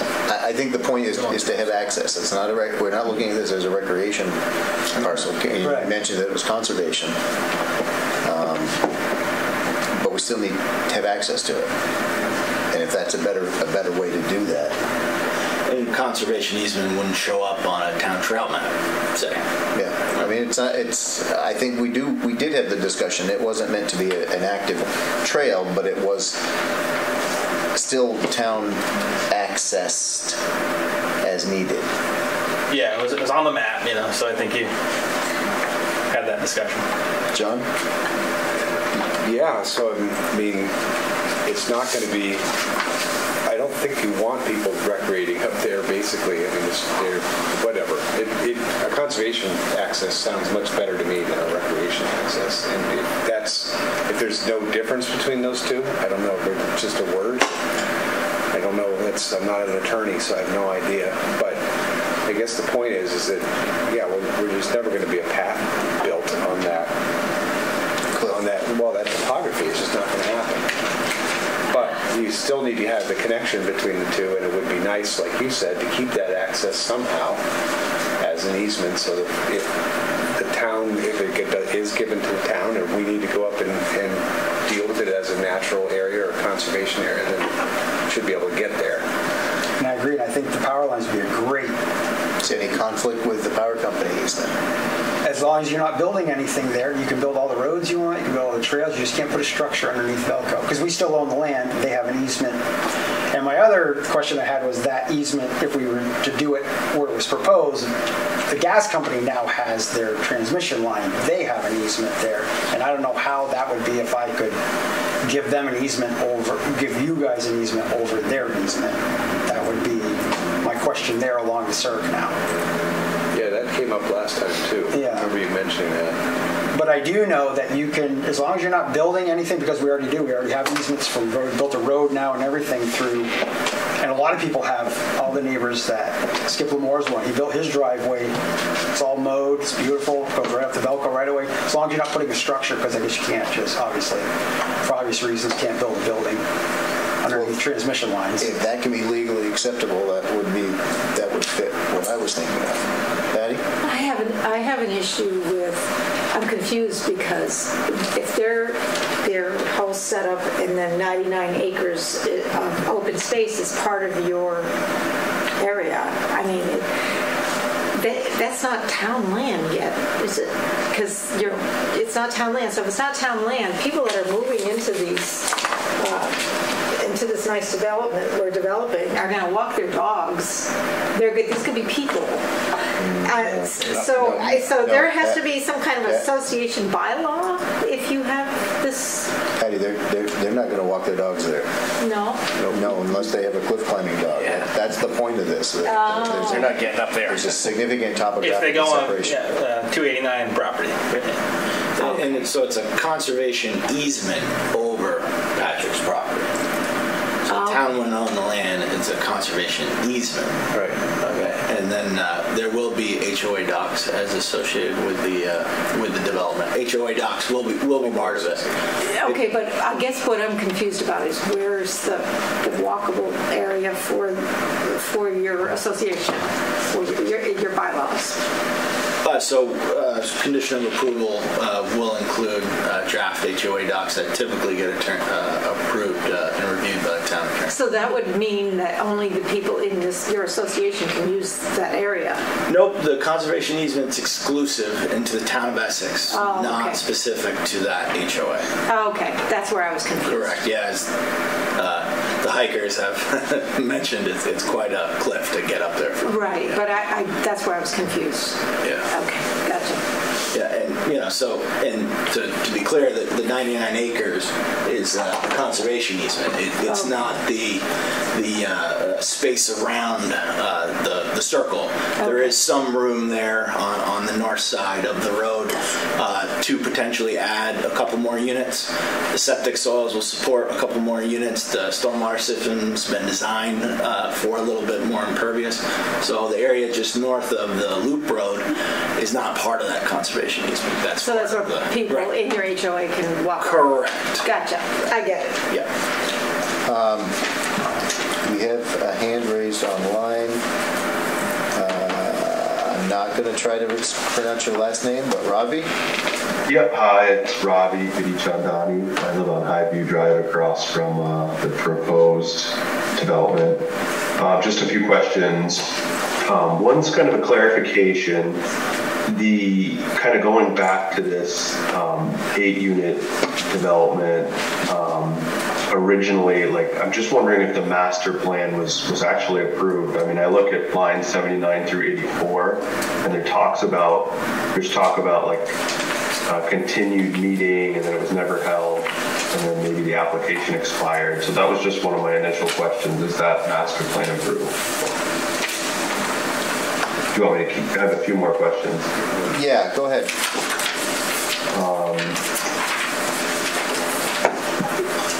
I was wondering about uh, infrastructure. I heard some comments about Vermont Gas, and, and I just was wondering if that, if that would serve these um, units, um, and if, if that would be extended into, into the neighborhood.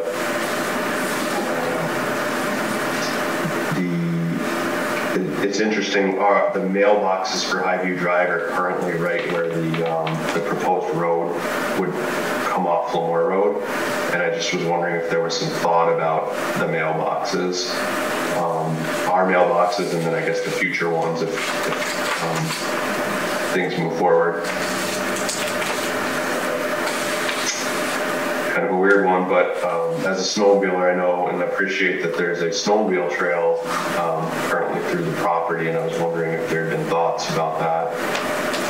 Um, hopefully that can continue. And then, yeah, just I guess a comment to the approach to the bridge and any realignment. I think that, you know, if, if things do happen or uh, whatever, um, that's a pretty weird intersection, so I think it, it should be looked at. That's all. Okay. So, this is, you know, this is the second discussion about the master plan, and master plan is a separate document that, in my recollection, you get, everybody correct me because my definitions may be off, but the master plan is a, is a, is a guideline for overall potential on a parcel. It's not a map. It's not a hard map, it's not a binding map, it's not, it's not, applications aren't necessarily limited by it. Um, And it's used when there's phases of the project. yeah, it's usually a longer-term roadmap that's established. Um, In fact, one of the, one of the elements of this original master plan, if I remember correctly, had like 30 or 40 units. 65. Okay, I remember a whole, you know, it, it's still on there, but it's not ever going to be realized. Um, So I, I, I think the question about the master plan, we can, we can bypass. Um, Since it's, as we mentioned to the folks earlier, the master plan's not on the table tonight. Um, Vermont Gas, interesting question. And- But that's usually up to Vermont Gas. Um, You're not, in. I mean, this is, you're not looking to bring Vermont Gas in on this, are you? No, that's a transmission main. It's essentially like a Velco line. You can't just tap it. It's thousands of pounds of pressure. you Drill. Yeah, you can try. What the Mailboxes, I would assume that if you're putting a road in, you got to accommodate the mailboxes. Post office likes scan Yeah, can boxes move now, so I would expect that, but that's their call. As far as the snowmobile trail, that's a landowner, especially if we're talking, uh, um, I forget the snowmobile association.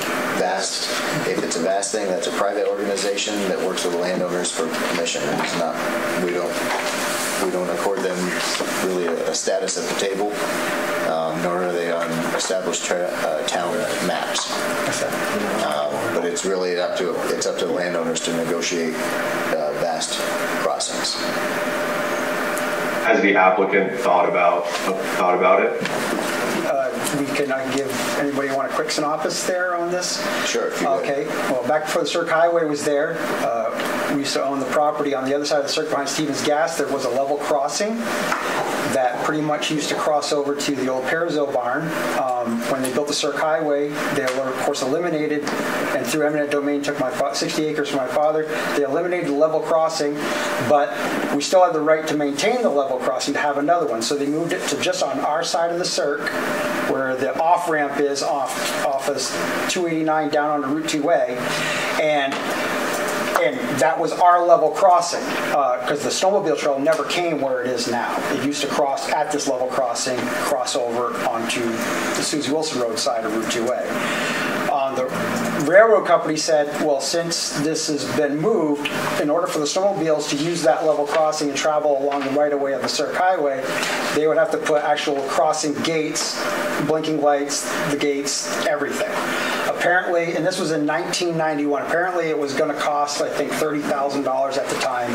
And the Bass approached my father and said, you know, we don't have the money for that. Can we continue going along the railroad tracks along your property where the trail never was, cross over the bridge? And my father said, okay. And Dennis at the time said, I'm going to allow you going over the bridge, but as soon as somebody has an accident there, it ends. Thank God there's never been an accident because I know a couple times I'll come over that bridge. A little narrow with snowmobilers. But anyways, we go through this every year. Uh, Dan Raleigh, I gave him permission again this year, obviously, but I told him, I said, you know, you guys have had basically, you know, 30 years now to build that level crossing over there and gates. You know, at some point this is, you know, gonna end because I, I stopped them from traveling over the septic system, or Jarvis's septic system. That's why they come down where they are now, but now the units are gonna be there. So, and I can't move them up again because they'll be driving over the leach fields. So that's it in a nutshell. Yeah, okay.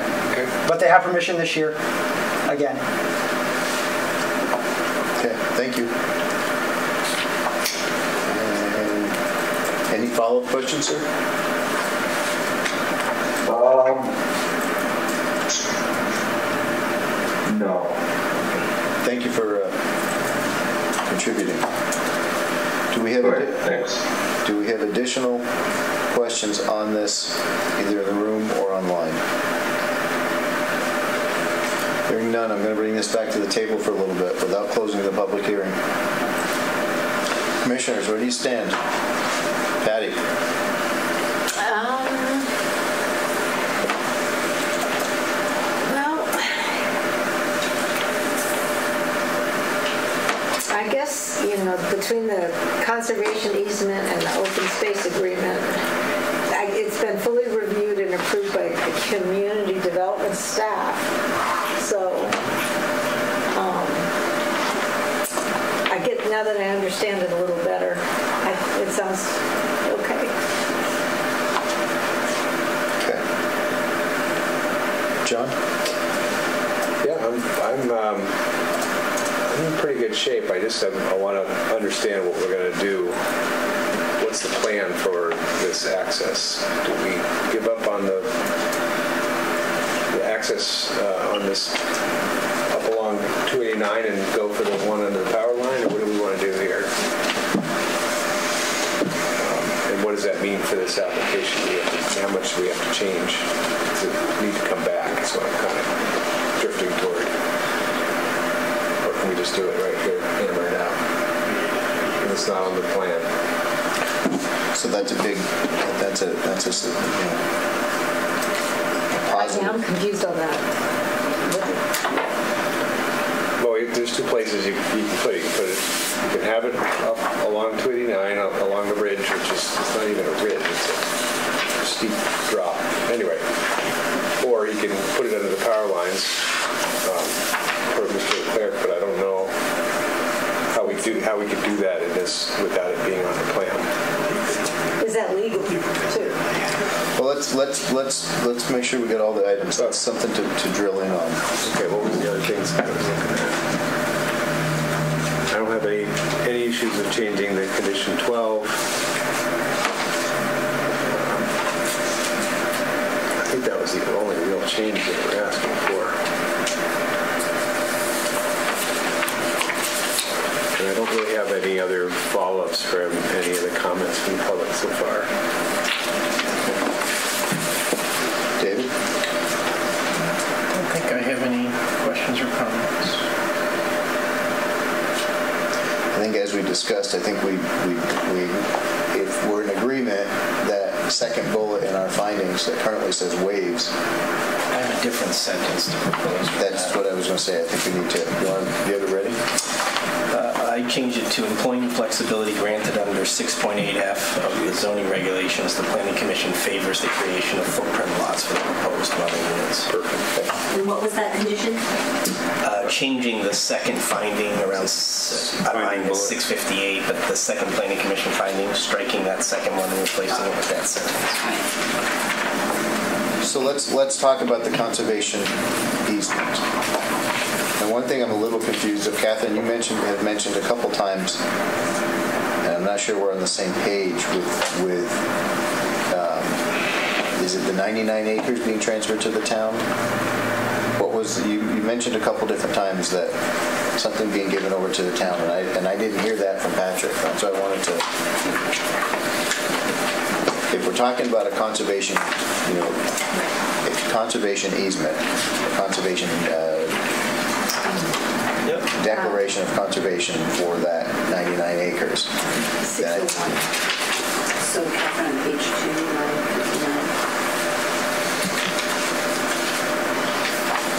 59. Is the, um, there was a sheet seven easement plan. Is that, is that one that we should be looking at? Um, to- Yeah, I can pull that up. So I know that, you know, the development is happening on four, roughly four acres, and that allow, there's 900, or 99, sorry, left. 90. So that's, that part is considered open space. Right. But that is not the same as the open, open space easement. I think that sheet seven shows. Yeah, so I, I, I think it's right on, on sheet two there because it says approximately, the development is approximately taking place on five acres. Yep. And, and it says the remaining land is open, which is true of a PUD with footprint lots, condos. But then it's also the 99 acres is the conservation easement over that uh, remaining lands. It's an easement. It's not a it's not a lot. Okay, so that's, that's, okay, so we, so for that conservation land, conservation overlay, how's that word? How about that? That's good. There should be an access easement for conservation purposes to that remaining lands. And if you're proposing that it follow the power lines, Brings you right in there. then that to me would be a That's suitable. that area. Can you bring up sheet seven? So there should be an access easement onto the 99 big CBD remaining approximate 99 acre open space. So that's seeing sheet seven here. I do have a document that has all the plans. so. Oh, that's the easement plan you're talking about.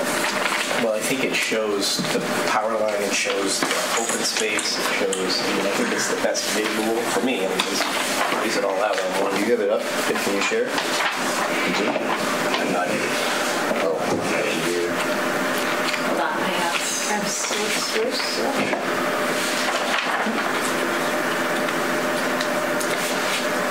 That's it right here.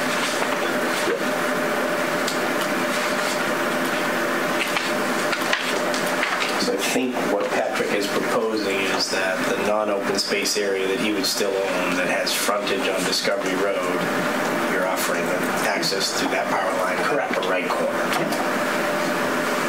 Because I control all of that, Yep. so I can do it.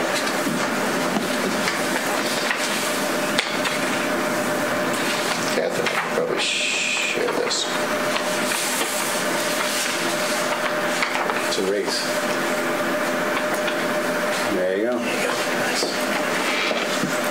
So, and we're in it for this. That's the, that's the power line right there. And that goes all the way across. That's actually better because it does go, it would, it would go all the way across the, that portion of the parcel. And there is some terrain in there, but nothing like, I mean, it's hike, it's actually hikeable terrain. We're not introducing hikeable. Okay, well, I'm just, You, you want us not to introduce hikeable? no, I'm just Let's saying not that- backtrack. Which is, it's easier. Never mind Yeah, easily accessible. Take his mic away. So I guess, I guess what I'm aiming for, and this is where I want board members to, to chime in, and applicant and staff, is acknowledgement of a conservation access easement, or an easement, access easement into the conservation overlay section. Whatever, whatever, whatever phrasing needs to be the- to, to Yeah. capture that.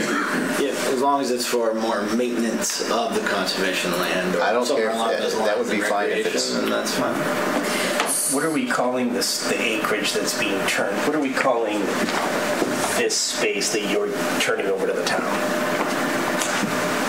They're not turning over to the town. So it's uh, That's- easement. Conservation easement, Just a conservation. So you're not turning. not necessarily physically- turning over to anybody. You're just giving an easement over that acreage. Right. Correct. So can I have a follow-up question? So it's warned as an eight-lot PUD. Ninth is the remaining one. Okay, thank you. Yeah. So you have eight. Eight units. eight dwelling units? Yeah, correct. Eight footprint lots. Okay. And the ninth is the remaining land. And of that remaining land, a portion of it is covered by a conservation easement. Correct. So we want an access easement under the power lines for maintenance and conservation purposes to that conservation easement land. I, I say this gets punted to, this is sketch. We're like beating a horse here. This No, it's gets actually punted. not sketch.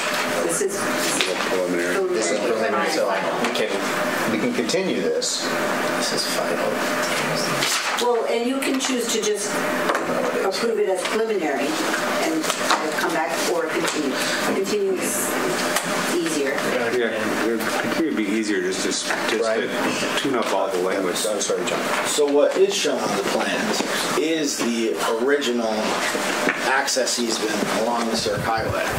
And what, what you were saying was, is if we can't find another spot to access, then that's acceptable, because it's the only way to go.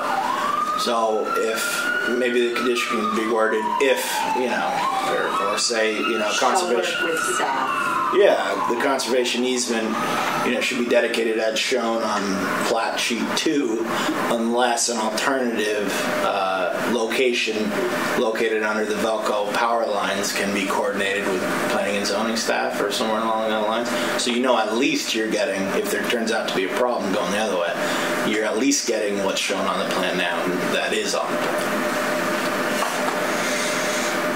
And if it turns out we can't go the other way, that's the only way. Bottom line is that we need an easement into the conservation parcel. Right. The conservation lands. And if there already is an easement on the plan, I'm, I'm, I'm leaning towards agreeing with you. Yeah. We, we accept that easement that's already there and add in a condition that, or add to that condition. Want to modify E, 6E. I mean, if we st- step away from the language, you know, easements and all this crap, what we're essentially talking about is that this PUD has 99.1 acres of open space. Right now on the plans, the access to that is along a cliff along 289. We're asking the applicant to consider, in exchange for eliminating that access easement along 289 along the cliff, to give us some other access for conservation purposes into the property over his land's access through Discovery Road. That's essentially what we're talking about, right? Yes. We just got to figure out a way to word that. You just stated the finding that goes into the planning commission finding. Well, I can't remember that. That's Oh, I can capture it. Karen's got, Sharon, she, Karen, Sharon did it on tape. Is that her she Karen? Yeah. So you asking for that easement to come from Discovery Road? uh, No, I was just trying to summarize what I think it is we're trying to, so that we're all in agreement that we're getting, you know, 99.1 acres of open space, and that we want some way to get in there that makes sense. That's Let's not even, cliff. let's, let's even rephrase that. We're not getting. He's designating 99 acres of open space. And we want to maintain access, we want to establish access to it so that it can be accessed for, n- if if needed. And there's no concept, there's no confusion about that. So what's the condition, John? You had it called out, the existing condition? It was uh, 6E. You want to modify it and say something like an access easement is, we need an access easement to provide access to the conservation area or over, over the power line. I don't know. I don't don't want to be too specific. So we're, we're, we can strike the word pedestrian recreation easement. Yes. And add, we draft, draft easement deed for proposed 20-foot wide conservation easement along the southern boundary of Vermont 289, unless the applicant can provide an alternate location for 20-foot wide conservation easement. Brian? The only thing I would say is, is uh, 99 acres are open space as part of the development, but not all 99 acres are for the conservation. If you look there, the, the uh, conservation easement is within that 99 acres. And if you look at the master plan, there's a few extra lots to go on one of the private drives there, so. That's why I want to try to focus it on access to the conservation. Correct, yeah, I think so, I think that. I think we can strike the term 99. Yeah. But it is, it is part of that ninth lot. Right. But we're, we're focusing on, on establishing an easement to access that conservation area. Yeah, yeah. Can, Yeah. can a connection come from one of those proposed future lots if they come to be? It could, we'd have to look at the legals around the existing access, if it's feasible or not. It is on Patrick's land, but it may not be. I think the, if we leave it, if we leave it what's already been proposed, which is the 20 foot, Yeah, you know, at, at that's the safeguard, yeah. that's there. Yeah, We have it, it's, it's not necessarily functional, but it's there. And just put in this that an alternate, rec- recreate, not recreation, an alternate conservation easement would be, could be submitted to staff for review and approval. yeah. How's that, Catherine? You want to take, assume the responsibility for that? Well, if it's a, condi- is that a finding? Well, that would be a condition. The finding is that Could, it should be should. should be submitted. Why? If it, oh, excuse me, that that was combative. Um, If the first thing is that we've got one there, if an alternate, it- it's, an alternate easement could be submitted. We already have the 20-foot easement as part of the condition uh, But there's along the, 289. the option. for The, op- oh, maybe we put it that way then. The applicant has the option of submitting an alternate conservation easement location to staff for approval, for staff approval. Yeah, fine. Does that makes, I mean, is that, that puts it, I I don't think it needs to come back because we're really looking for. You don't even have to tie it to the Velco easement. You can- Well, that's why I just said Yeah, yeah, alternate yeah. location. I think that's good. That, that, that, you, you were correct and that it's already on the, on the, in the form for, in the plan for tonight. David, does that sound a reasonable approach? Yeah. John? Yeah. Patty? Sure. Okay. Do we have anything else we need to, to, to touch on this? I'm going to stop sharing. Go back to look at participants. Do we have anybody? So the public hearing is still open. Are there any additional comments or questions that folks want to offer? I see none online, I see none in the room, and I would take a motion to close the public hearing. So moved. Second? Second. I said it, too late, I did it. It's not a good question. Yeah, well. All those in favor? Aye. Opposed? Motion carries 4-0. Public hearing is closed. Commissioners, we have, we have options in front of us right now. If we're feeling confident in this, then, then we can move it. If anybody has any concerns or questions, then I would suggest that we look at continuing it because there are only four of us tonight, so it must be, a it must be a unanimous vote tonight, one way or the other. Um, And quite frankly, it's very awkward if we vote in the negative and a vote, you know, is rejected. And we have to, because it's still active on the table. So, straw poll time. This is just a question. Do you have any concerns that would prevent you from, you know, moving this tonight? Patty? No concerns. John? No, but David? Okay. Then let's, unless there's additional points to discuss, let's go for a motion, John. Whoops, did I say it like that? Uh, I move we approve the uh, boundary adjustment between Linda Leclerc, one Leclerc Woods, and Dilton and Sandra Jarvis, 11 Moore Road, and preliminary and final public hearing. Um, Proposing an eight-lot planned unit development, uh, PDR, on a portion of the remaining undeveloped lands known as 1 Leclerc Woods in the AR zone, tax map 73, parcel 1 with uh, language as we discussed, um, changing the second bullet in the findings as well as adding um, a finding which I can't remember the language of, but Sharon, I believe you captured it um, regarding this, eas- is regarding the is what we were talking about, right? In that finding, can't even remember now. the, we had a couple findings. One, we were changing the PUD language that David had. To capture the footprint.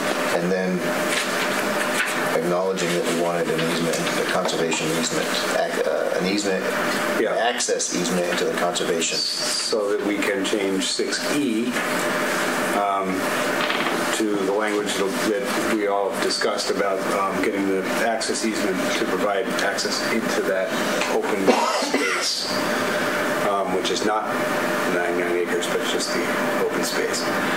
Um, And changing condition 12 um, to say that the uh, the fees will be paid after first CO. And I believe that's all I had on my list. I'm good. I'll second. Okay, we moved, seconded. Any further discussion? All those in favor? Aye. Opposed? Motion carries 4-0. Thank you. Okay. Thank you. Thank you. Thank you. I'm going to take five. Welcome back, everyone. We've got one final plan on our agenda this evening, our application. Um, And that is, this is a continued sketch plan public hearing from 825 for Pinewood Holdings. Uh, Brian Marcotte, proposed 34 units development, PUDR, and I'm not going to read the rest of it. Too many words. Um, Catherine, you want to catch us up? Or do you do, want to? yeah. I feel like this was a very small uh, bit of the application that was the reason why it was continued, so I don't think we need to belabor the whole um, sketch plan contents again. Okay. But in, so in August, you did hear this application, and during that sketch plan hearing, there was concern about the um, the private drives that had access of four and in one case five um, different or separate units. And Public Works was against that uh, because it didn't comply with their regulations and um, and also the staff was saying that it didn't necessarily comply, but it's a PUD, so there's some flexibility in, in that. So the staff was directed to talk, uh, community development staff was directed to talk to public works staff, potentially the town attorney to, to figure out if, was there some way forward. Public works staff has agreed that there there actually is um, in their public works specs an allows to allow this sort of thing. So it's there's a um, I think it's A11 uh, illustration that allows for um, units off of one drive. So they have consented to say that they they would accept this sort of development. They would not accept five, but they would accept four. And uh, community development staff agrees with that. Like, We're fine with the, the four and not five. And my suggestion that's in the staff report is to be very specific about why you would be allowing that. It's not just because um, it's a good thing or Public Works says it so, but because our um, the PUD regulations allow for that flexibility. And so that, that is laid out in your staff notes. Uh, Commissioners, any questions for Catherine? Uh, yeah. Um, the, on um, the revisions to the design of private roadways that meet the requirements that you just discussed, um, do they have to be specific to the Essex standard specifications for construction, according to, you know, their public works spec- standard specific specifications for construction? Yeah, so that the A11 um, detail is taken from that the public works specifications. So it's it's within it's a description or a you know a detail of how you can do a private drive. So there's two different ones. There's one that shows two, and there's one that shows four. So we we can use the four.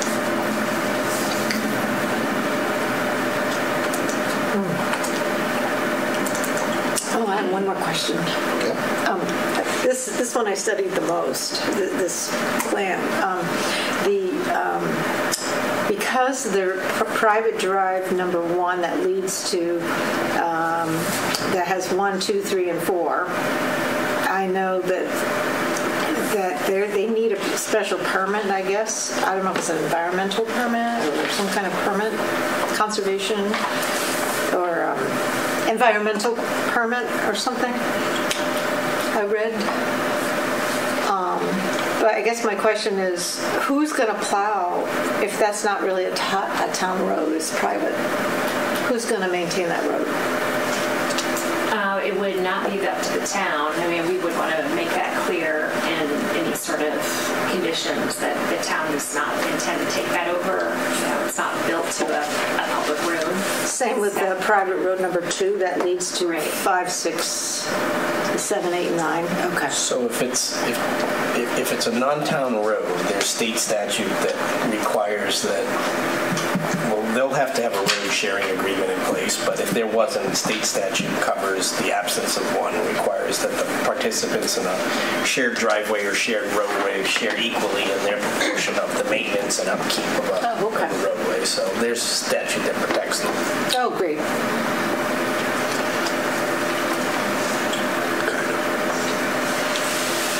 Good? Okay. Brian? Or Brian? Right, right. Uh, so last time we were in front of you, uh, we talked uh, a lot about uh, revised layout. Um, you know, we, we've taken ex- extensive steps to minimize impact of steep slope. A lot of our conversation was around that. Seemingly, the planning commission was okay with uh, the new layout. Uh, we to show more grading where the lots are, sort of things. But uh, at the end, we chose, uh, in, in my opinion, uh, to, to take a continuance over, over an approval uh, in order to gain more clarity on this driveway standard. So since then, we've had very great constructive conversations with planning and zoning and public works, and and know, town staff does agree that the PUD standards do allow the flexibility for four units off a private drive in certain instances. Not everywhere in town, but in certain instances. Um, obviously, the standards two. So in this case, we're asking the planning commission, as part of a PUD approval, for four units off of two uh, private driveways. We will likely eliminate lot five in order to comply uh, with the four-unit count on the uh, the eastern uh, private drive. Right now, we're showing five, so we'd have to get rid of one of them. I think that one probably makes the most sense. Um, so we're, we're asking the planning commission to, for finding at sketch, uh, so we can move into a, a set of preliminary, fully designed plans uh, to okay uh, that using four units off a private drive in the R2 district, in the, in the sewer core, uh, promoting, uh, you know, the conservation of natural features and steep slopes, uh, that four units off a private drive is appropriate uh, for Pinewood. You don't want to make it more complicated than that tonight. Not unless you want to. Okay. Commissioners, questions? Um, Not, not about those drives, no. Well, asking questions. This is the. the- the- Okay, um, I have an issue, sketch. so if you get rid of five, I, I didn't know that, so, because 5, 10, 12, and 13 are on steep slopes. So you're gonna get rid of five, that's what you're saying? So if we were to meet the four units off the private drive standard, we're currently showing five, so we could get rid of. uh, The five is an- the one with of the steep five, slope. But but I think five makes the most. Yeah, because that's on a steep slope, so I was just going to say that's a good choice. Yeah. But my other question is, what about 10, 12, 13 on a steep slope? And um, the cul-de-sac, um, I know that there is, well, it's kind of vague about wet, uh, wetland two, wetland two on, on the um, BioFinder map. Um, But the water coming into that cul-de-sac, that little thing at the end where the, the triplexes are, is, uh, is that going to be an issue with, you know, erosion and, and everything, water? Sure. So I- I'll take the cul-de-sac first. So diverting water will be certain engineering decisions I'll have to make as we move into design plans. We're not showing anything now of how that would be accomplished. Uh, Until we move into the design phase of the project, right now we're just looking for more conceptual, uh, larger themes, but that is definitely something that we'll have to consider as we move forward and, and, uh, you know, we can look at closer uh, at the next step. Uh, As far as uh, unit, I think you said lots 10, 13, some of the ones that are shown with the blue shading for 10, 12, and 13. Yep, for what Essex uh, uh, defines as a steep slope. When we were here last time, uh, you know, we talked about how steep slopes should be avoided, but that doesn't mean that you cannot impact them at all. We are doing, in my opinion, a very good job at avoiding steep slopes, and we've agreed to show grading for some of the more more uh, steep single-family lots. Something that we typically wouldn't do, right? Typically, we just show a single-family lot, and as long as you build within the envelope and meet public work standards, you'll get a building permit. So we've agreed to show more detail on, say, those three lots, uh, to show that we can uh, not impact uh, exorbitant amount of steep slopes. And uh, I, I think if you look at um, you know, and not not just uh, the one sheet three, but if you look at sheet two and three, you know, it's a, it's a hundred acre parcel. You know, we're zooming in on, on three lots to, to say we're not avoiding steep slopes. Uh, I think e- even with those two uh, three lots is uh, uh, I think a significant understatement.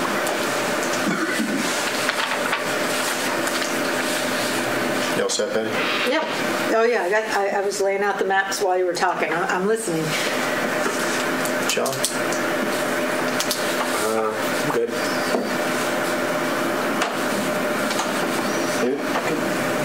Okay. I'd like to, and Catherine, this probably goes back to you and, and David since he's our literary agent. Um, underneath our findings, that's where I'd like to capture the language like we did in the last app, that the PUD standards allow us to make the changes. I don't want to say waiver.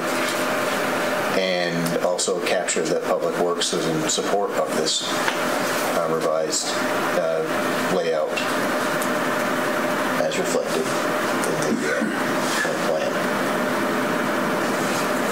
Updated plan. We're moving five.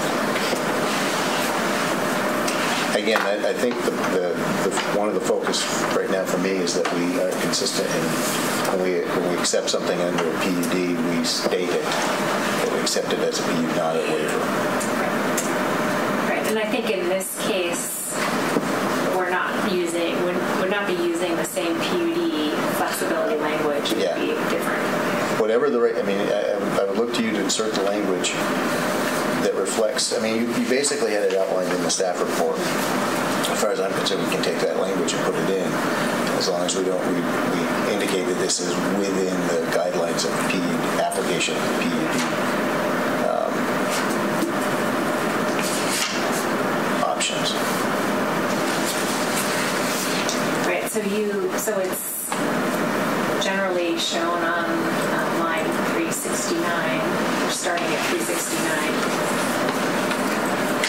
So the zoning reg, re- uh, zoning regulation, section 6.8L. Yep. And then it's because the project is proposed, oh, that should be as, not at, um, as a PUD are located in the sewer core, is in the R2 district, an area where growth is encouraged, and designed, the design protects steep slope, keeping impervious area to a minimum.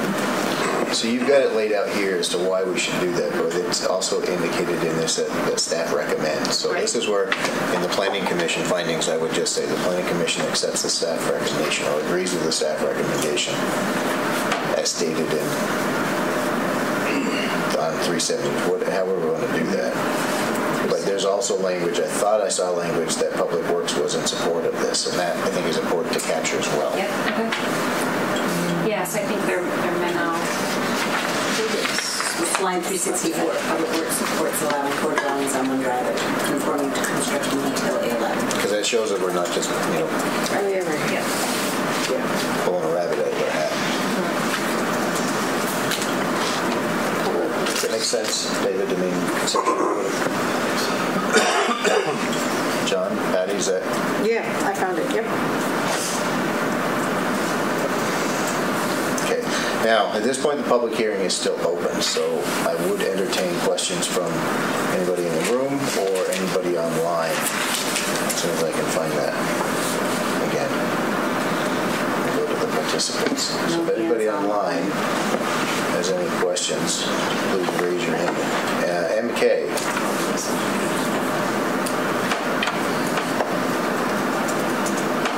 State your name and Hi, A- I live right next to the proposed development.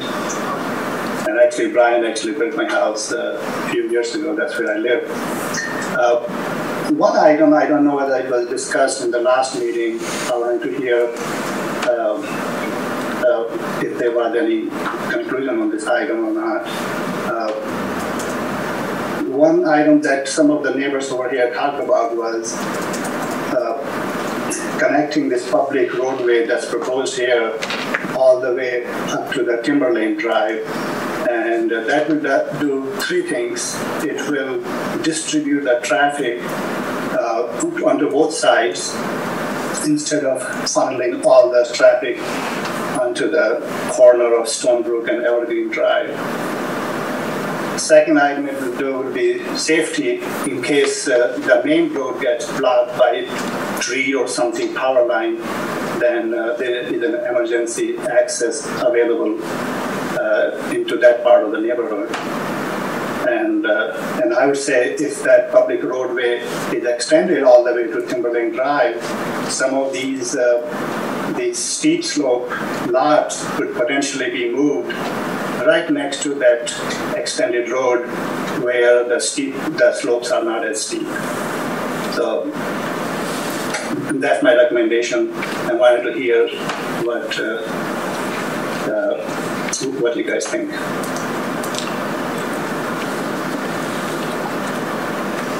Thank you. Thank you. Don't go away, because I'm not sure we're 100% clear on what you're suggesting. Go ahead. Um, Isn't there, um, I I read that the ca- the road can't be more than 900 feet long, or something, the public road, the public roadway to the, um, That's a, uh, that's a non-through road. That's a road that ends in a cul-de-sac. oh, oh, that's a, ro- okay, thank you for clarifying. Got it. So I'm, I'm, I'm confused at where you were, sir, where you were looking to have the road connect. Right here. Maybe you need to go to the different sketch, sketch where instead of ending this on the cul-de-sac, it continues on and meets uh, Timberlane Drive. Yes, I don't have a, that shows that overlaid to this. Here to here? Yeah, it's talking about like right, connecting right here. Yeah. Okay, so this is Timberlane right here, right? Yeah. Okay. So the talking, he's talking about it coming this way. Yeah.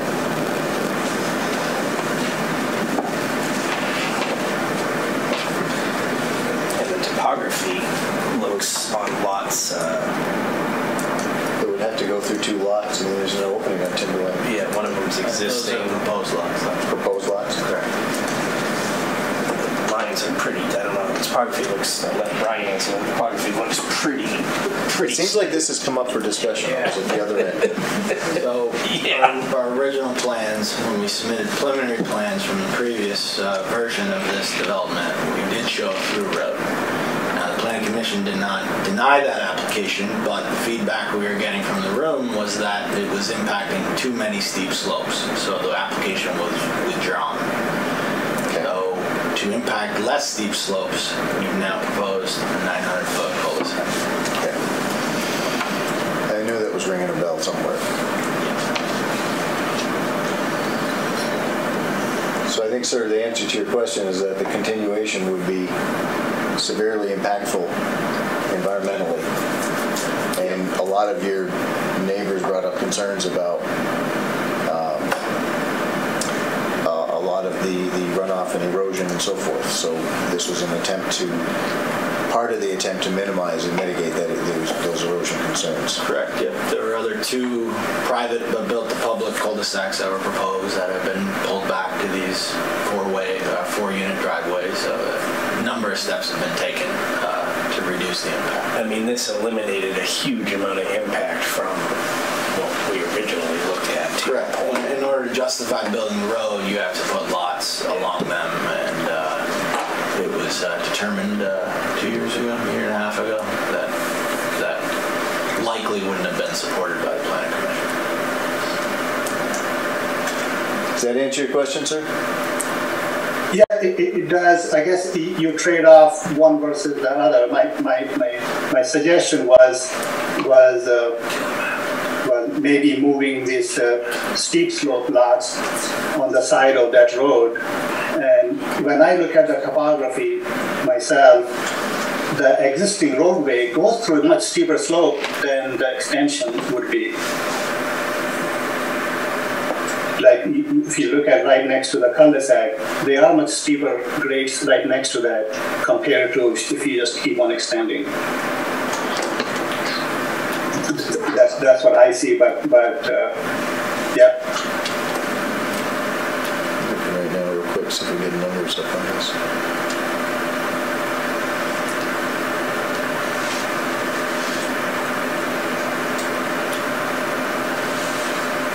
Anyways, I think, I think to your point, sir, I think that was hashed out to some degree in a previous submission, so the so Yeah, far. previous, Go ahead. Previous, I think one of the main concerns was was uh, the lots that were built on both sides of the extended road. Were on the steeper grade. My point on uh, for the new revised plan is is is, uh, is extending the road, which will not as much impact the, the steep slope unless you start building lots on both sides. And when you have the extended road, you will have opportunity to build, to move some of these steep slope lots into the flatter land. Because there is flat land on, on the side of the extended road if you, if you choose to do that. Isn't the land flatter after you go to the right of all the reds? Yes. Yeah. Significant. So- Sir, can you state your name, please? Uh, my name's Peter Gray. Thank you. I live up in the new development area. Okay. So, I, I think it's, it's, it's okay to bring this up, but I think we do have a plan in front of us this evening as sketch. And I know this has been before the, many of the plan, you know, phases have been before the, before the, all of them have been Um,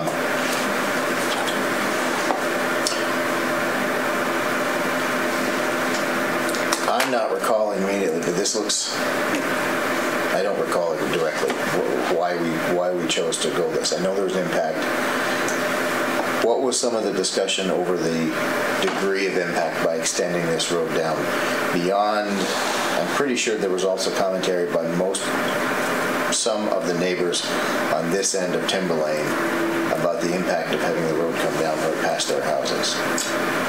I think it was more a general discussion that Public Works and uh, previous uh, zoning, planning and zoning uh, folks that, uh, you know, did not see uh, that we were minimizing impact to the extent that we could. And uh, there's a, there's a good cut to make that turn uh, on the back of uh, Timberlane there. Big cut, big fill. Uh, and we wouldn't entertain doubling the size of the road for the same amount of units. That would make the project unfeasible. So, and I think that's what this gentleman was suggesting. Yep. Okay. I mean, I'm looking at this, there's a 380 there and a 400 here. It's, It- and a 360 and a 3. Right. It looks like it's a, It would be steep just to put a road in it too. Okay. Yeah. so, sir, I think with, with regards to this, you know, thank you very much for bringing this forward. I think uh, we've heard from the applicant, the applicant heard from previous planning commissions that that's not a direction that we would be entertaining at this point. Neither is that a direction that you're offering at this moment. No. Okay. Might not be the answer you're looking for, sir, but, but that's where I think we're going to get to tonight. Thank you. Let's see, anyone else online have a question about this? Thank you for sticking around with us. All right, I see no more questions, no more hands raised online. And, Oh, oh no, Mike, MK still has his hand up. okay. There. Sir, in the room, did you want to offer any additional commentary? No, I just kind of try to clarify where some of the flatter land is, Okay. it is a pretty narrow, steep impact. Get down. There's also Class 2 wetland at the bottom. Okay. Barriers to success. All right, with that, I would look for a motion to close the public hearing. So moved. Second. All those in favor? Aye. Opposed? Motion carries 4-0. Public hearing is closed. Commissioners, we've, we've looked at this a fair amount. Um, We've talked about PUD language in the findings, which David's sort of been tweaking. Are there any other items of concern at this point that we want to bring up or hash out? Remembering again that this is sketch, so comes back again. Can I mention something? Yeah? Okay, um, so the problem for the, the triplexes, those four brown, brown ones at the end of the cul-de-sac, 18 to 22, um, I I guess you're, you said you were going to look into that class two wetland, and uh, um, I, I didn't know if those would be impacted because that wetland is just above. If, you look at the map this way, it's just north of the cul-de-sac. Yeah. And it would flow right in between all those guys. So, uh, way the state uh, takes jurisdiction over wetlands, they have class twos and class threes. Uh, functions and values is an argument for class two versus three. Sizes is also a big indicator. Hydraulic conductivity is another one. There's a bunch of stuff that goes into it. So the wetland that's shown basically underneath the cul-de-sac is what the state defined as a class three wetland, meaning non-jurisdictional. You don't need a permit to impact it. The function and values don't warrant conservation. Uh, class two wetland is the one behind Unit 19, and those have a 50-foot buffer associated with them. Those are protected by the state, and we are not showing impact to the 50-foot buffer around the Class 2 wetland east of the triplex. A classification report from our original submission two years ago with the state uh, verifying those classifications. So we hire an ecologist to go out and delineate the wetlands. They bring the state out, and the state verifies the location and the classes of those wetlands. So you, you hired some geotechnical engineer to Wetland ecologist. Oh, okay. Correct. Okay. Yeah. Cool. All right. I didn't know that. Yeah. I didn't know you did that. That's cool. Good? That, um, David, you've been typing. Do you want to share the language that you're proposing for the additional finding? Uh, So under additional findings, uh, based on the recommendations of staff and Public Works and the flexibility granted under 6.8F of the zoning regulations and the Public Works specifications, the Planning Commission supports up to four dwelling units on the private drive. On the public, on the public, on the two private Two drives. private drives, sorry, on the two private drives. Okay. So that's our, that's part of our discussion. Anybody have any issues? I'm going to say two- up to four dwelling units each on the two private drives. Th- Those two things are perfect. Okay. And is anyone ready to offer a motion? Sure, I'll do it. I get there. Um, so we. So uh, I move we approve the sketch plan public hearing um, for Pinewood Holdings LLC. Um, Proposed 34 unit, plan unit development, um, development in the residential yeah, PUDR located at 18 and 30 Timberlane Drive. Um, Parcel IDs as they're showing in the agenda. I'm not going to read those out.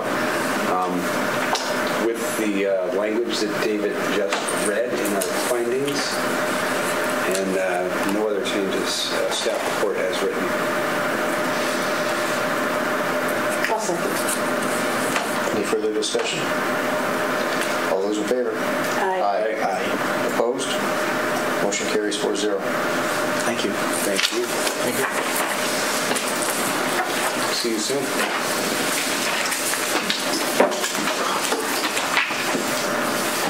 Okay. Next on our agenda are the minutes from October 27, 2022. I move approval. I'll second approval. Let me Get there so I can just at least officially up. Does anybody want to offer any amendments, changes, corrections to the minutes as presented? Hearing none. All those in favor? Aye. Opposed? Minutes carried 4-0. We have other business. I do. But go ahead. Oh, just a couple of quick things. Um, Just wanted to let you all know that we are interviewing for the planner position. Um, Just had some interviews this week and we'll have some interviews next week. So, some promising candidates. With this,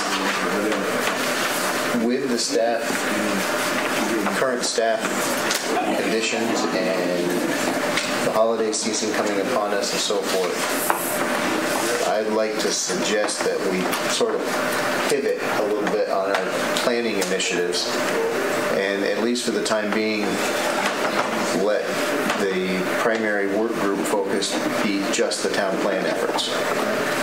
That doesn't mean anybody has to stop doing it, if things are going on, everybody's welcome to continue, but I think with, we're, we're running into conditions or, or situations where we have issues with getting commitment from the PC, from the staff, and from other, other boards and committees. And as we stated when we started the process, we might have to flex a little bit. Yeah, these are just minutes. I I think we need to, at this point, just sort of, in order to keep anything moving forward, I think we sort of need to narrow our focus down. And that means maybe first of the year, we kick things back into gear.